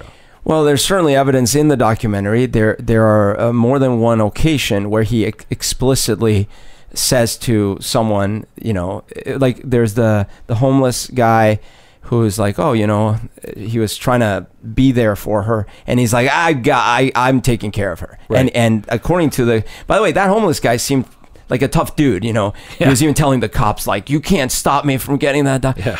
He said he's never felt more like Scared. scared. Yeah. Like that's and then there was a couple other times where where he was like that. Not to mention he was essentially either implicitly or explicitly constantly implying to her that he was capable of really bad stuff. All right.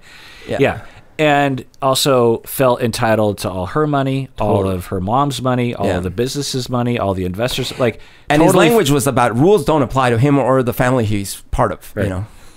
and and this is the part that I also again I keep hammering on this and every time we talk about this psychopaths are messy psychopaths are stupid psychopaths make mistakes because they have a personality disorder that's the definition Yeah. if it's a strength then it wouldn't be a personality disorder Right. He's got a gambling problem that is compulsive and uncontrollable. Yeah. He he basically ruined his cash cow. Yeah. He drove it to the ground. So if he was even slightly intelligent about this whole thing, he would have dialed back his gambling a tad Just a tad. and latched himself, married a woman who who liked him, or he was already married to her. So he could have said, "I'm just going to drain a little bit of money off Which, of her." by the way, with that restaurant then expanding with Right. the juice bar and stuff, a little bit could have been a million dollars a month or something. Like Right. who knows? Yeah.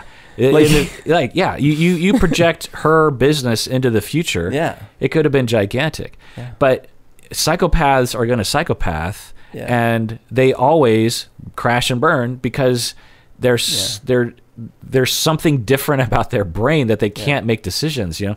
Uh, another category is irresponsibility, lack of realistic long-term goals, impulsiveness, criminal versatility, uh, and a parasitic lifestyle. Did he exhibit this category, Bruno? Absolutely. Uh, he was living off of her and her mom. Um, he was, uh, as far as the criminal versatility, this one I always get tripped up about because like we've you So know, it's but- it's crimes. Usually, if someone isn't a psychopath, they will their crimes that they commit will be in one category. You know, they do all robberies. Mm. I see. when you're a psychopath, you are an opportunist when it comes to crime. Yeah. So you will commit crimes all over the place Right. that don't really seem to be in one category. Yeah, probably. Although I guess there's not enough accounts of like, and then he stole from this store, and then he, Yeah, I you mean the Hare model is based on prisoners, but Yeah. we can certainly look at his even just a few of his crimes and see that there's versatility. He impersonated a police officer. That's right. He yeah, impersonated uh, a military person. Yeah. He defrauded all these people. Um, oh, getting back to the entitlement, he felt entitled to the restaurant, and and that superiority. Like I can, even though he knew nothing about anything, thought he could run the the restaurant better than she could. Absolutely. And, and you know, he did do wire frauds, mail frauds, email like you know, cyber crimes, like Right. all sorts of things in Yeah. that sense. and served no time in prison. No time, which I find odd. Um, early behavior problems, uh, juvenile delinquency. Uh, we have some evidence of that given accounts, but not a lot. A need for stimulation. This is another category of psych- psychopathy that I think is overlooked. Sexual promiscuity, poor behavioral controls. Did he exhibit this sort of thing? I think the gambling alone is one of those. Uh, he he was he he was constantly there. He was addicted to it. He had systems in Yeah. place, all these things. But more importantly, he played Call of Duty. That right there is. But eating as well. It looked like he had an eating oh, issue. that's true. He ate a lot. Yeah. Yes. uh, and then shallow affect, um, which we don't know because we couldn't. It didn't really seem like that was a strong one, but but when people met him, they found him to be off-putting, which is which is frequent for psychopaths. You can there's like, something's wrong with that person, you know. But he had. I, I don't know if this one's coming up. He had the whole glib. Uh, Yeah. glib kind of charm in a sense. Remember at the beginning when they were introducing him, Right. he was like buddy buddies on on uh, Twitter with Alec Baldwin or something. yeah, well, that's part of the pathological lying. Yeah, category. Um, and I want to be clear that this is not narcissistic personality disorder. yeah. it's much he's much easier conceptualized as a classic psychopath Yeah. and to uh, you know address all the articles talking about how he's an example of a narcissist i'm just going to say no like uh, you don't understand at least you can call him narcissistic i suppose Yeah. like he's self-centered okay Sure. but to invoke the dsm uh, language and the clinical literature that goes back 100 years on narcissism he's not that kind of narcissist Do, don't wouldn't psychopaths in general come across as narcissistic? yeah it's a part of the Yeah. so it's also with borderline Yeah. it's Yeah. all it's several of the personality disorders can come across as quote unquote narcissistic in that Right. one you're self-centered and you are kind of in love with your own thoughts out of desperation or just because but but yeah there But you're also burying the lead if you're like, well, he's a narcissistic personality. It's like it- it's like Yeah. imagine saying that about you know a Ted Bundy. It's like, Yeah. well, sure. Yeah. Can we talk about the more important problem here? right yeah uh, now when we get to the ted bundys of the world you start getting into like Like he's got all of the above kind of thing. yeah, you, you could start to say half and half, like Yeah. psychopathy But- and but still, like- sadism, and Right. Yeah. But but the thing that the internet thinks is that narcissism, the label, is used for any human being that is a jerk face. And so the more of a jerk face you are, which Yeah. Anthony clearly is, then he must be narcissistic. There's just they just have one word for jerk face, which is narcissistic, you know, and it's just like that's not how we see it. And then, you know, the other thing, in addition to psychopathy, is that he had a lot of attachment insecurity, and I think that he exhibited that through his relationship with with uh, Sarma. Yeah, it didn't. I mean, he had a terrible relationship with his father, right? They threatened to kill each other multiple times. Yeah, and then his dad uh, was a criminal too, right? Yeah. So, Well, I mean, yeah. yeah. Um, and by the way, like the story of the abused mother, Anthony's mother, calls the cops, Mm-hmm. of which Anthony's father, John, is a police officer for. They don't help the family and and, and just tell John, the father, you know, your wife called saying that Yeah. she's a victim of abuse. John comes home, rips the, you know, beats her more and rips the phone out of the wall. Like, Oh, right, right. He puts what? What is it? He puts his dad in jail. Oh wait, no, this is a different thing. I got confused. I watched a. Do you know this whole um, the, uh, this a YouTube series where this guy interviews all these very down and out people. yeah. Yeah. So in one of those, the guy was talking about. So the story I actually reached out to them and asked for permission to the react. soft white underbelly. Yeah. Um, and he gave me permission to react to his video. I didn't need to ask for his permission, Yeah. but I just felt like I should. But I haven't done it yet because, and people will sometimes send me those videos to react to, but I find myself thinking, I think I'm just gonna react by saying, "Yeah, there you go. That's that." You know what I mean? It's a tough one because um, it's an individual, and like I, I think what he's doing is valid and valuable, but it does border documentary on the documentary. Yeah, but it does border on Exploitation. exploitation. Yeah. So, it, anyways, but I didn't want to derail. It's just that for a second I got confused with one of those people's stories. Yeah. But in this case, what was what you just said that they called the cops? So the story that was in the article in Vanity Fair, in the documentary, and also in other news reports was that the father, John, Anthony's father, when Anthony was young, uh, was abusive to the mom, and when she confronted him saying, "I want to leave you," Mm. He got his gun, put it to her head, and put the gun in her mouth, Ugh. and says, "I'm going to kill you. I'm going to kill the kids. I'm going to kill myself." okay, I remember that now. Yeah. Anthony is there, and I, I'm guessing trying to talk him down or something. Uh, this goes on for hours. Apparently, the she calls the cops afterwards. right. The cops tell him because he's a fellow cop. He comes home, abuses her, rips the phone out of the wall. Yeah. This is the, the ex-wife was telling this story. Anthony's ex-wife was Oh, okay. telling this story in the documentary. Oh, okay. Now, I- now I remember. Yeah, this is horrible. I mean, that's horrible. yeah, so on so it's- many levels. Obvious that Anthony like if that happened the whole police department should be burned to the ground and started afresh you Yeah. know what i mean like Yeah. what are you there for So it's it's it's clear that Anthony had a a bad a bad role model whole bad set of Yeah. experiences. and perhaps genetics to boot yeah.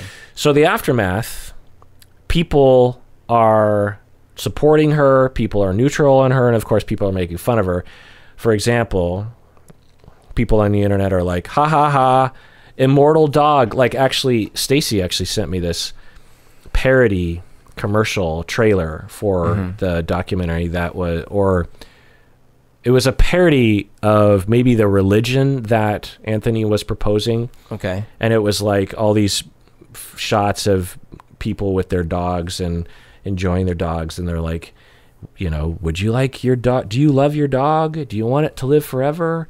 And then they're like you know anthony stirred Strangis system or something. Yeah. and so that's pretty awful. But it's also dumb because uh, this isn't like a thing where th- it was a whole compound of people and he actually had a system. He was ad hoc making up crap to Right. to abuse and exploit her. right It, this isn't a real. So fine, you know, you can make fun of whatever you want, but uh, th- I I miss the point because You well, know, it reduces uh, years and years of gaslighting abuse and emotional torment and torture emotionally to ha ha ha he promised her he was going to make her dog immortal and and tricked her ha ha ha I agree. At the same time, you know, the, people have made fun of the aliens and all the things. Like, actually, I'm poking fun at the fun because I'm saying, yeah, this isn't that. Like, you missed the story. This isn't about some weird cult with rules and things. No, that's not what this story is. Right. This story is one guy making up random stuff as he goes along to try to manipulate someone uh, to, for his own gambling needs. yeah That's it. Yeah. Another person on Twitter said, "Hippie lady, hippie lady got scammed. Boo hoo." What do you think about that one? Yeah, that's that that shows a lack of care. I mean, look, should we say that if you're going to devote your daily uh, emotional meters to something, maybe you should care about bigger problems? Yeah, fine, fine, fine. If you don't want to watch the documentary about one instance of this, no problem. But it's not like she wasn't a victim. like, and uh, I don't. I guess I don't see the point of making fun of her. She was a victim. Yeah. The thing to ask yourself out there, if she hadn't met him, where would she be today? She'd be yeah. Would she have defrauded investors? No. No. Would she have been on the run from the law? No. She did everything uh, uh, because of the abuse that she went through, went against all of her instincts. She didn't have any inkling in that direction. there was nothing in her behavior indicated she was oriented towards scamming the system. Yeah. And so the uh, it's so you just have to ask yourself, but but you have to believe and understand that humans, even people who are smart and privileged, can become broken down over time emotionally, which which can happen to anyone, including Sarma, including you out there, including me. Uh, I can be victimized that way if if under the right circumstances. Yeah. like it could happen to another person says the most puzzling thing is why do these women just give their men this money? Uh, is this a thing you do if you have money? I would never give a man money. If the cashier at the store is a man, I simply do not pay. Okay. What do you think about that tw- that tweet, bro? I, I mean, come on. that's just that's just ridiculous. Like, first of all, methinks the person doth complain too much. Like, I, I find that a lot of times, the more extreme the comments, the more you probably actually are a victim of whatever it is you're complaining about. Mm-hmm. But in general, of people, this happens to people all the time. I just gave an example from my life in my family. People have stories like this in their families all over the place. Now, not everything is as extreme the reason I was giving the example earlier of years ago, I lent my buddy a thousand bucks and didn't see it for like two years, is because more often than not, that's what we're talking about. Is like small little defraudings like this. This one made bigger news and it was a documentary because it was for millions and millions of dollars in a very prominent New York thing and blah blah blah. Still, she is a victim, and still, people give money to people when they shouldn't, or, or you know, and they're they're being taken advantage of all the time to to pretend like she's the one human being who was stupid. Yeah. like, Yeah. And it makes people reckon with their own vulnerability and the fact that women are current uh, people and a lot of women are being abused right now by people like this. Uh, I've had clients who have gone through very similar situations like this actually, and it's horrific. Uh, it, I mean, God help you if you ever come across one of these individuals like Anthony. I mean, you can't help who you swipe right on. You can't help who you kind of like after the fifth date. You can't like you can't control who you fall in love with after the 30th date. And psychopathic people like this, they can hold it together for 30 dates, you know? there's also this aspect. Um, psychopaths, uh, abusers, ch- child molesters, all these things. Um, there is usually they find victims because they they're probing around the edges, and a lot of times the people that are most vulnerable are the first to show some give, and then they just push into that. Right. So, okay, so maybe she's more vulnerable than the average person. I'm not saying this is the fact, but let's pretend for a second she's more vulnerable than the average person to being uh, taken advantage of. is that something to celebrate? Is that something to make fun of? Right. Like, do we make fun of someone because they can't run as fast because their leg has been injured since or they a were born? 10 year old who's groomed by an uncle or something. No, It's like, so like if anything, if she actually has some either emotional issue, whatever, shouldn't we be even more like respectful and empathetic to to that? condition? Yeah. Let alone that there's no evidence that that's the case. It- more likely than not, he could have defrauded nine out of ten people uh, that were that he was trying to defraud because he was very good. He's Yeah. a very good defrauder. right. Yeah. I mean, it would be hard not to fall for it, particularly if you don't have the wherewithal, which most, most- which most people don't. And I hope that by watching these documentaries, people have more wherewithal to protect themselves from these psychopaths. Another person says, There's no way this woman graduated from Wharton, ran a multi million dollar business in New York City, and is as fucking stupid and clueless as she's trying to make out. I'm not buying it. She's a bad liar, not a bad vegan. What do you think of that, bro? So Bernie Madoff only defrauded stupid, uh, uh, ungraduated people. Uh, Enron was always, uh, you know, like this was one of my beefs with you several, many, many episodes ago. Uh-oh. But it, it's not longer with you. It's just we have this Well, weird. I'm just going to preemptively say that you're wrong and I'm right. We have this weird notion where it's like, uh, you know, big, successful business people. They're very smart and stuff like that. Yeah, and a lot of them are con artists. Honestly, she clearly had skills at selling ideas, at at putting together a successful business and things like that. Her weaknesses were not in those areas. Um, and, and and not buying i also don't understand what we're not buying are we claiming this didn't happen are we claiming the restaurant wasn't really a restaurant are we claiming eh, like which part of it are we not buying right. it, like i don't yeah Yeah. I mean, I find it to be problematic on so many levels. It's anti victim, it's patriarchal, it's denying human frailty, and I won't stand for it, Berto. Side note to end with Louis C.K. Did you know she he was involved? yes so that's what I, yes she dated him too So let me go through that. So reportedly, they dated in 2012, which would have been maybe just before Anthony or during Anthony. I don't know because I think anyway. And uh, there was an email exchange between the two of them that has been made public about her saying, "quote I'm upset and freaked out because you gave me a, a, An STD. An STD." I, I, I don't know. It, I think was it HPV or was it um, i don't know yeah. Uh, a, anyway, uh, and he replied. So this is after she says, "I have been. I've tested positive for an STD, and I think you gave it to me because you have this STD." yeah And he says, "Hey, I understand you're upset. This this kind of shit is tough. I never swore that I was clean. I told you I may or may not have given this to you. I'm sorry if I did. If you gave it to me, it's okay. We all share the current human bloodstream, which includes this kind of stuff. I should have worn a condom. You should have made me. We should have had a lot of things. We are human. What do you think of this so far, Berto? um not too much i i it'd be easy for me to say, "Oh, that Louis C.K. I knew," you know, but people give each other STDs all the time, so I don't know. So you can kind of relate to what he's saying? I've never knowingly had or given an STD. I mean, well, what do you think of this? That, and I, you know, and I'm not leading the witness here. Yeah. I, I just, I'm really curious. I should have worn, worn a condom. You should have made me. We should have done a lot of things. if if if you hadn't told me who this is, for example, you're like, "Hey, this is an ex-boyfriend." Here's the exchange.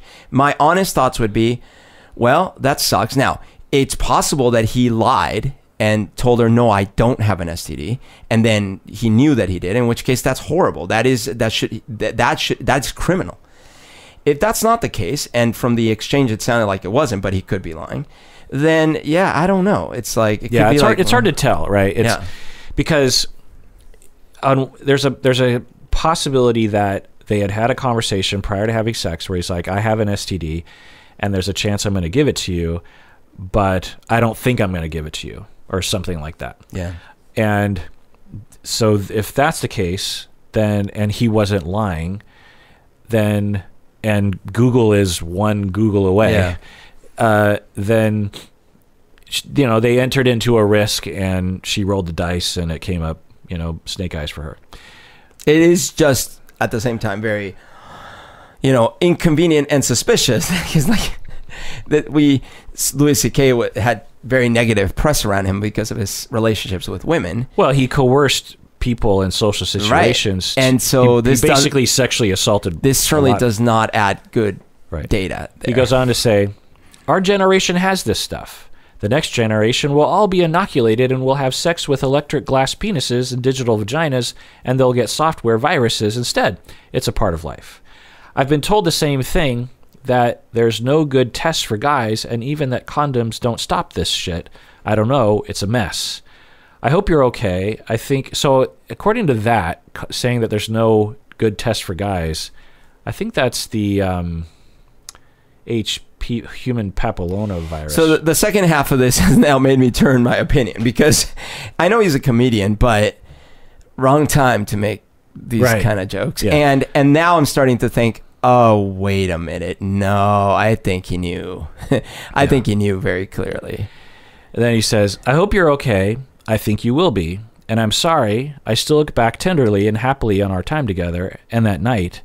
It was really wonderful, even though it never happened again, and it seemed to be sort of a stopping point for us, unfortunately. So from that, it sounds like it was a one night stand.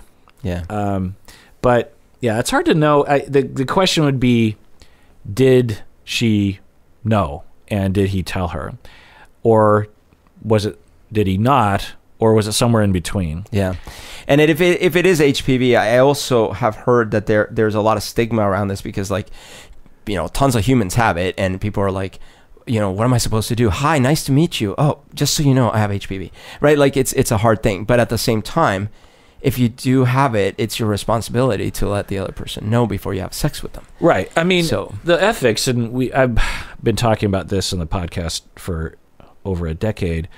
Is one, you get tested Yeah. to find out, and two, you absolutely tell people as soon as risk yeah. arises.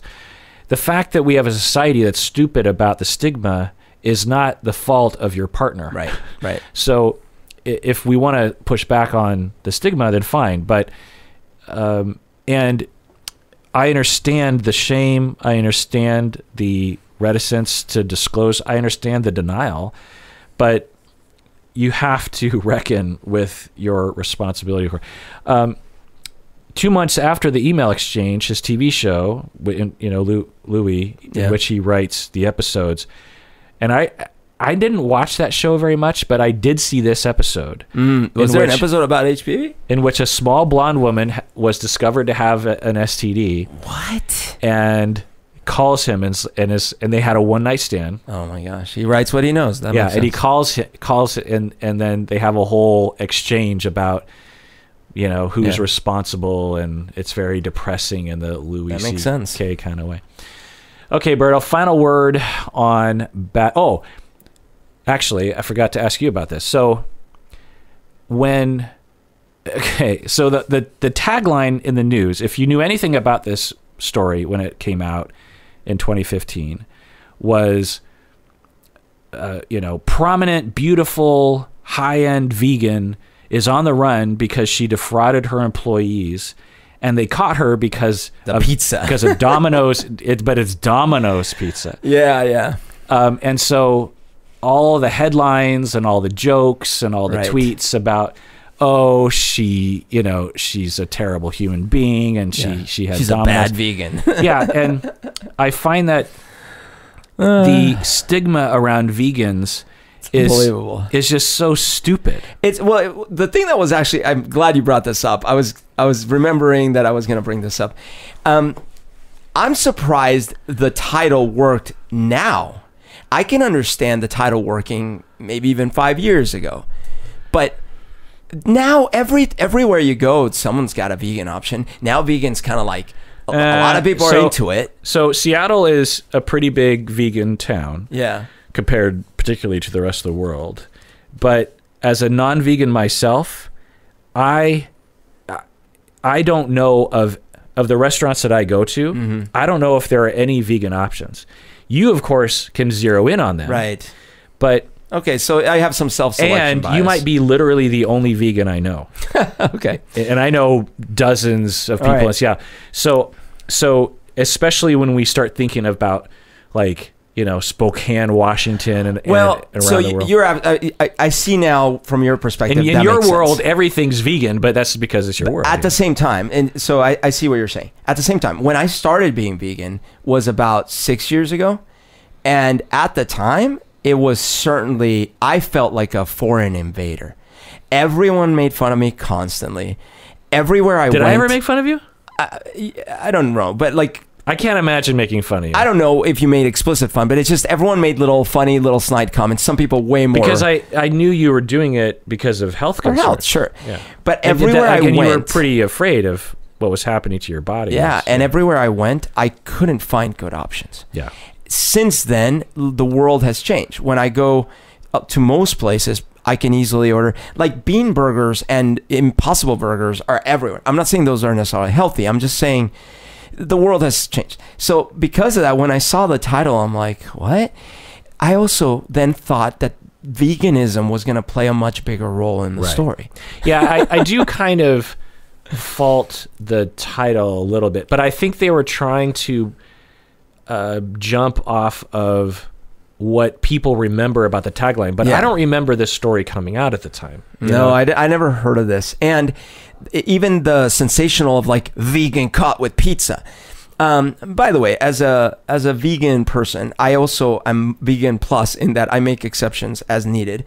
Uh, a, a cheese pizza is like a vegetarian option. Right. the, the thing that me and Stacy, you know, we turned to each other and we're like, vegans sometimes don't eat vegan. Yeah, You know, exactly. it, it like, but the the stigma that I want to highlight, which I think is maybe obvious to everyone, but I feel like I need to highlight it, which is that when vegetarianism became a thing, when veganism became a thing, there is this, I, I would say, this, there's this notion to non-vegans that the vegans think of themselves as superior, and they're looking down at the carnists. I felt that way constantly. I used to I used to think vegetarian like I remember feeling internally very annoyed and like kind of upset.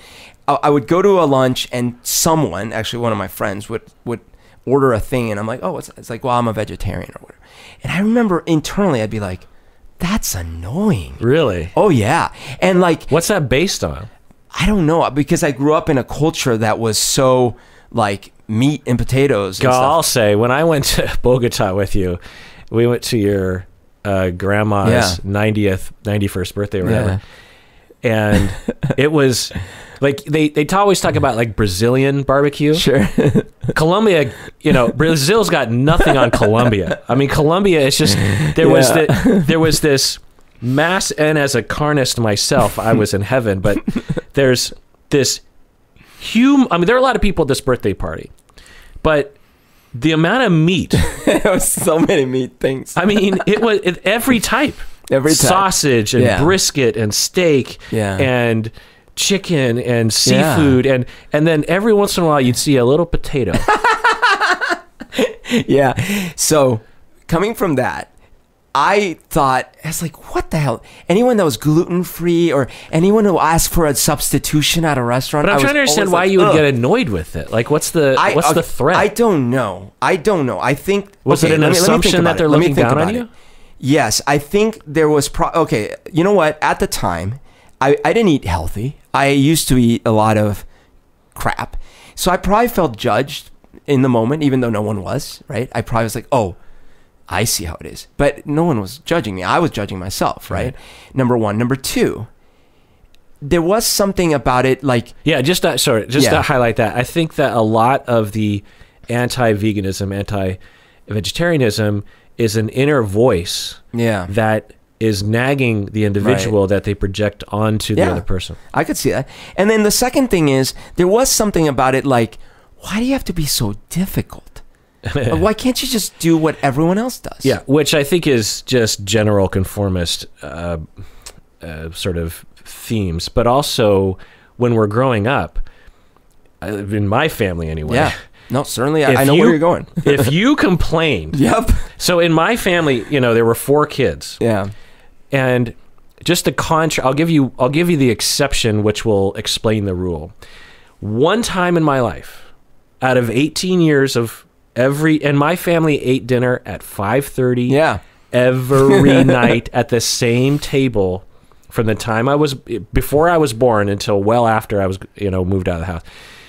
Every night, no exception. We didn't we didn't travel. We traveled Right. maybe a week out of so it was every night single five thirty uh, on the dot, and so one time I was served a dish, and my mom will admit this that she was not a good cook because she got she got pregnant at 19 Oh, and was in a sorority at the time and hadn't you know Oh, learned no. how to cook so they so and my parents eloped and Okay. and my mom had and she was sort of the princess in this rich family my mom and had learned nothing about how to cook and so she basically had like five to eight dishes that she would rotate and all of them were bad except for one that she still makes which I which I like but anyway and she'll admit that. But and she's since been so, a lot better. But anyway, there it was one of those dishes, and this one night I was probably like twelve or something, and I was just like, "Do we have? Could I like eat something else?" And I thought I was gonna get, you know, major punishment by just just by even I, asking. or I don't even know what I said. I can't. Yeah. I, I can't picture myself saying that. I must have indicated something like some sort of displeasure, which I also can't imagine given how our, my household was. But anyway, my mom said to me, "Well, if you want to make yourself a, P, a PB and J sandwich, go Mm-hmm. for it." And so I was like, "Really?" really? And so I made a PB and J sandwich and I ate it, and I was on cloud nine. I'm like, I didn't have to eat that dinner. I ate my own like creation. That happened once One time. out of you know Okay. 365 times 18 so so and which makes total sense you know my mom and dad both worked and my my mom worked less over time but she's cooking for six people every day and you can't have and we're also on a massive budget. I mean my family was not rich and so she had to cook these giant things in a vat literally this Yeah. humongous pot on the thing. And you know kids complain particularly when they're young. And so at an early age my parents just said you will not complain. You systematize what you can yeah. because there will be no complaining in this house about food. You will not only not complain you will thank your mom every day. Yeah. Because you will be a respectful grateful Right. person there are starving kids around this world Yeah, yeah, yeah. you're being fed you will not complain and you will eat it and that would also translate into politeness when we go to other people's houses Right. when we were given food you know and there's a lot of strange food in japanese Totally. A- asian homes there's like a lot of odd jars of things and that was another thing that my parents would tell us like you will not scat you know scoff at food you will eat it and you will like it and you will shut up and, and i don't want to hear anything I love And it. it basically just turned me into this vacuum of food like i will eat anything I love it. I, no, listen, I can 100% relate. so so 100%. when someone would say i'm picky about food yeah, I always have this inner voice Yeah. of you narcissistic, self-entitled, Yeah. picky baby. You, you know? hit it on the head. Like that's what it is for me. I I can totally relate to you. So I had two options for dinner every night. Do you know what they were? uh, two options: rice and beans. I could either finish the dinner with the family or I Oh. could finish the dinner by myself. yeah. Those are my two options. Stay at the, Every meaning stay at night. the, you have to stay at the table. Yeah, till I finish. Yeah, same me. Every Ex- night. Yeah, same Every me. night, chicken. Yeah. Chicken, breast chicken, every single night. Breast chicken.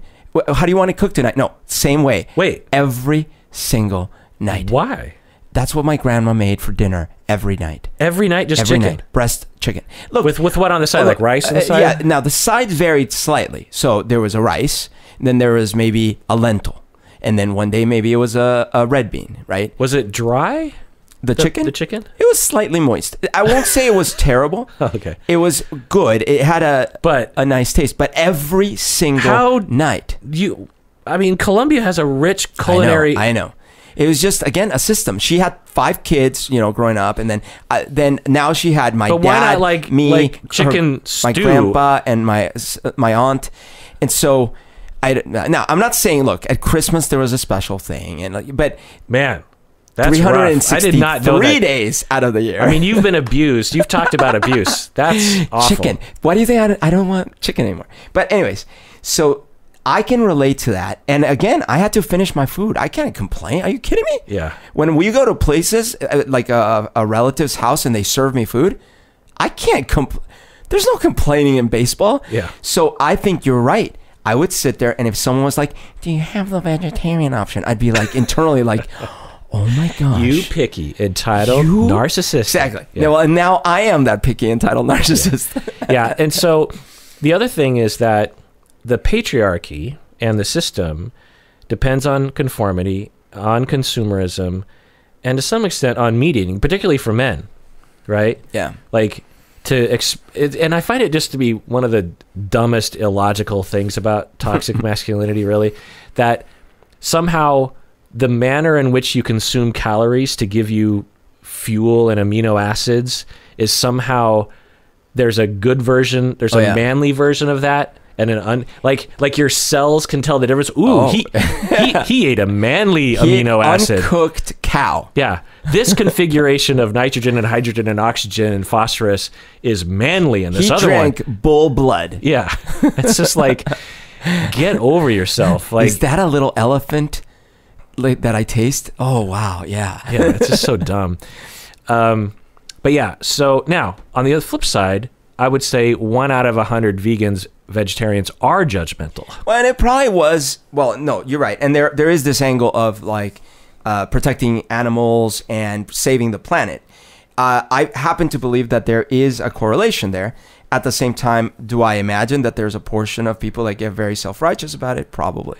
Yeah, and occasionally, whenever so whenever we go into this topic, because I think people's vision of me doesn't compute with the carnist, and I don't know what to say. I I should I sh- I don't eat that much meat, and when I have a a choice, I don't, and I don't really like if anyway, point is is like I'm not one of those people that's like determined to eat meat. And there there probably are weeks that go by that I don't eat any meat or uh, yeah, any meat. It's just you don't mind torturing animals and and killing the planet. That that's and, you. and when I can, I try to and there are places that have torture free Totally. uh, options. There's a there's a hamburger restaurant in the U district that is free range I look. I became organic, free range, all that stuff years before I became a vegan. Yeah. because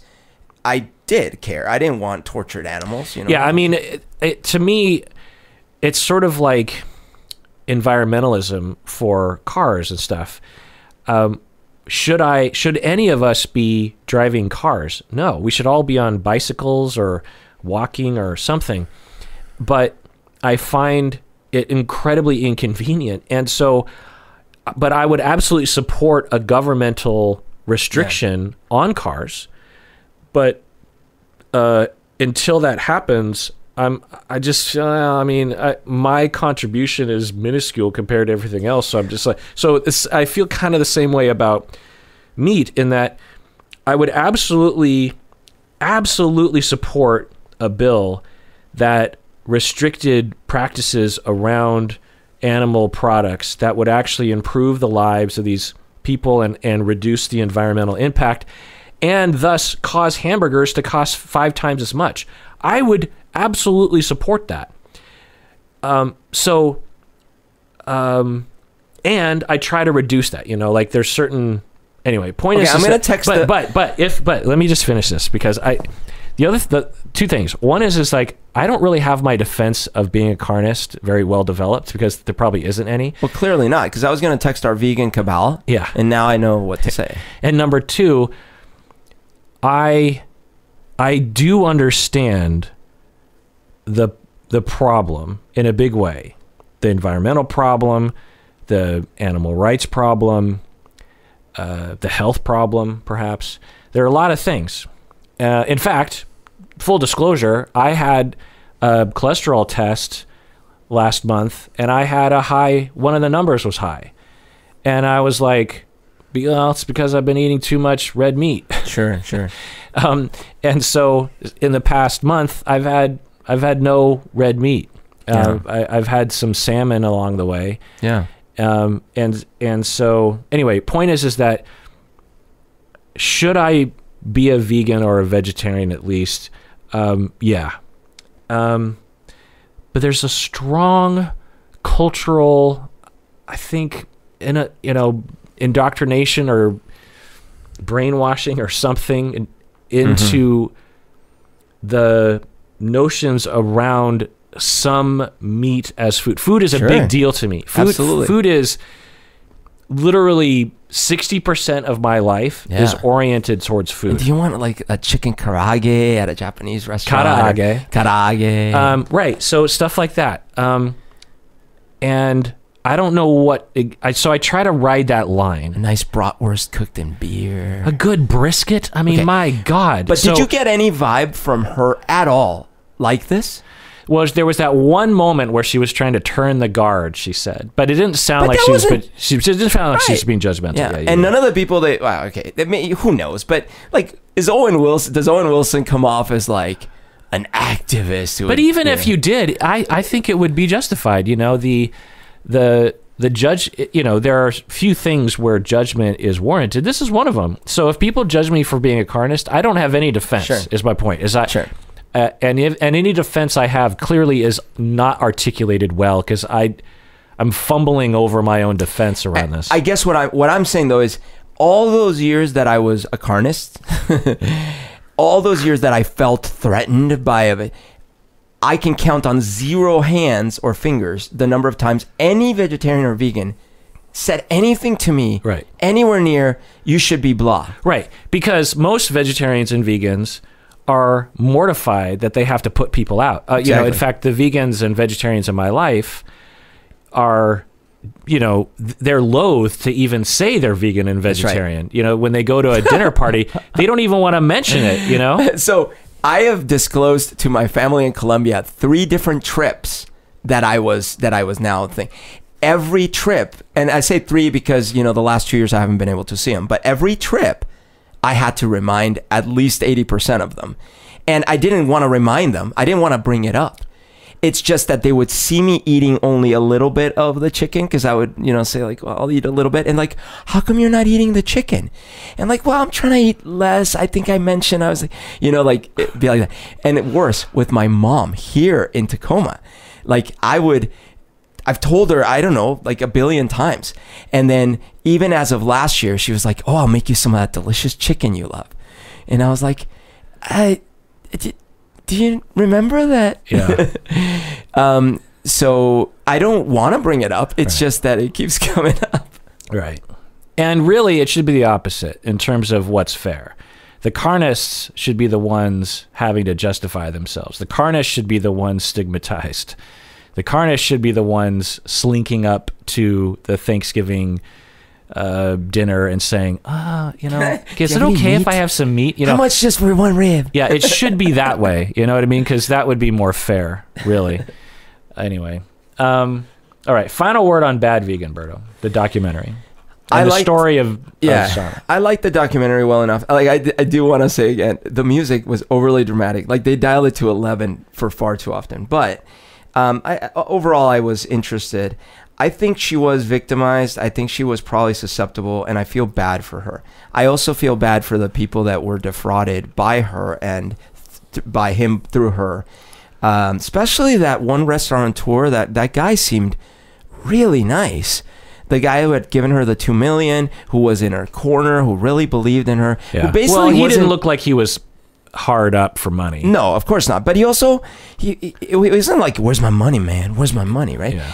But I felt bad because he he like and he took it in the chin many times by them. Right? He's like, "Okay, I'll meet you." Okay, why does he miss his flight all the time? Like, what's happening? Yeah. But in the end, I mostly I fear that you know that guy who clearly had a rough childhood and and should I wish he could get help and stuff. But that guy's out there and he's he might defraud more people and it's very very unfortunate. Yeah. Final summary is it's one of the best examples of actual gaslighting I've ever seen. Sarma was 100% a victim and should not be considered culpable for the things that she did. She didn't benefit from any of the things, she, even the little decisions that she made along the way. She did not benefit. aside, aside from the one time when she said, let's get married because we don't have to pay taxes on the gift to me. Other than that, she, every time she was losing, obviously she felt intimidated or tricked into a cult uh, of one and she didn't see any other way out. And and to we have to understand that this victimization is out there. It's possible anyone can fall victim to it. And to just say like oh what a stupid rich you know privileged woman. She should have known better is i think part of the victimization of these individuals I, I do take one one reserve there though nuremberg basically if we don't criminalize the portions that are still crimes then imagine the precedent that sets, right? Well, I was only acting because I was being gaslit. I think you still have to draw that line, and it's very tragic. Life is tragic. The universe is tragic, but well, there is a there line though, lines. and I get that, and I don't yeah. know the legality, but we could dial it back a little bit and say, let's say that it's a kid. Let's say that Sarma and yeah. Anthony have a kid. It's a ten year old that's been totally brainwashed, yeah. and the kid goes on some kind of shopping shoplifting spree. Do we say that kid needs to go to juvie? No, of course not. We'd say, well, that kid was it's a kid, yeah, being abused. They're gaslit. They're brainwashed. Yeah.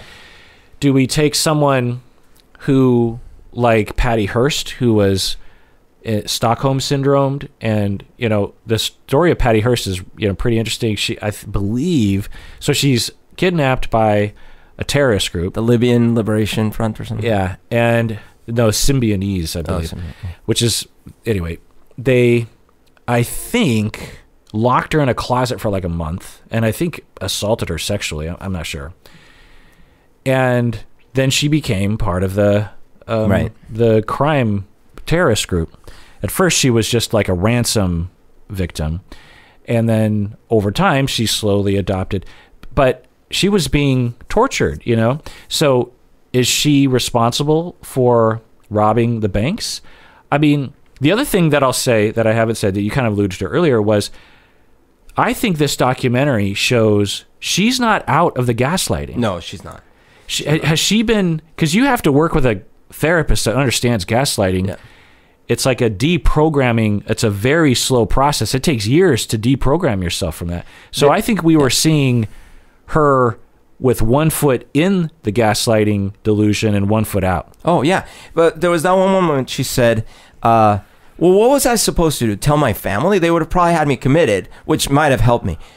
That was a very telling thing to say. Yeah. That first of all, she thought that it's an irrational, crazy idea to tell her family, and two, that the consequences might be her being committed, and three, that even that actually seemed like maybe that would have helped her because it was a way out. All those three things point to me that like yeah, she's not quite fully cleared. Right. And the way that she described it, you know, she would say things like, well, you know, in some instances she say, well, the, you know, I would imagine that 10 years from now when she describes what happens, she'll be like, "Oh my god, he completely gaslit me. He completely yeah, totally. tricked me."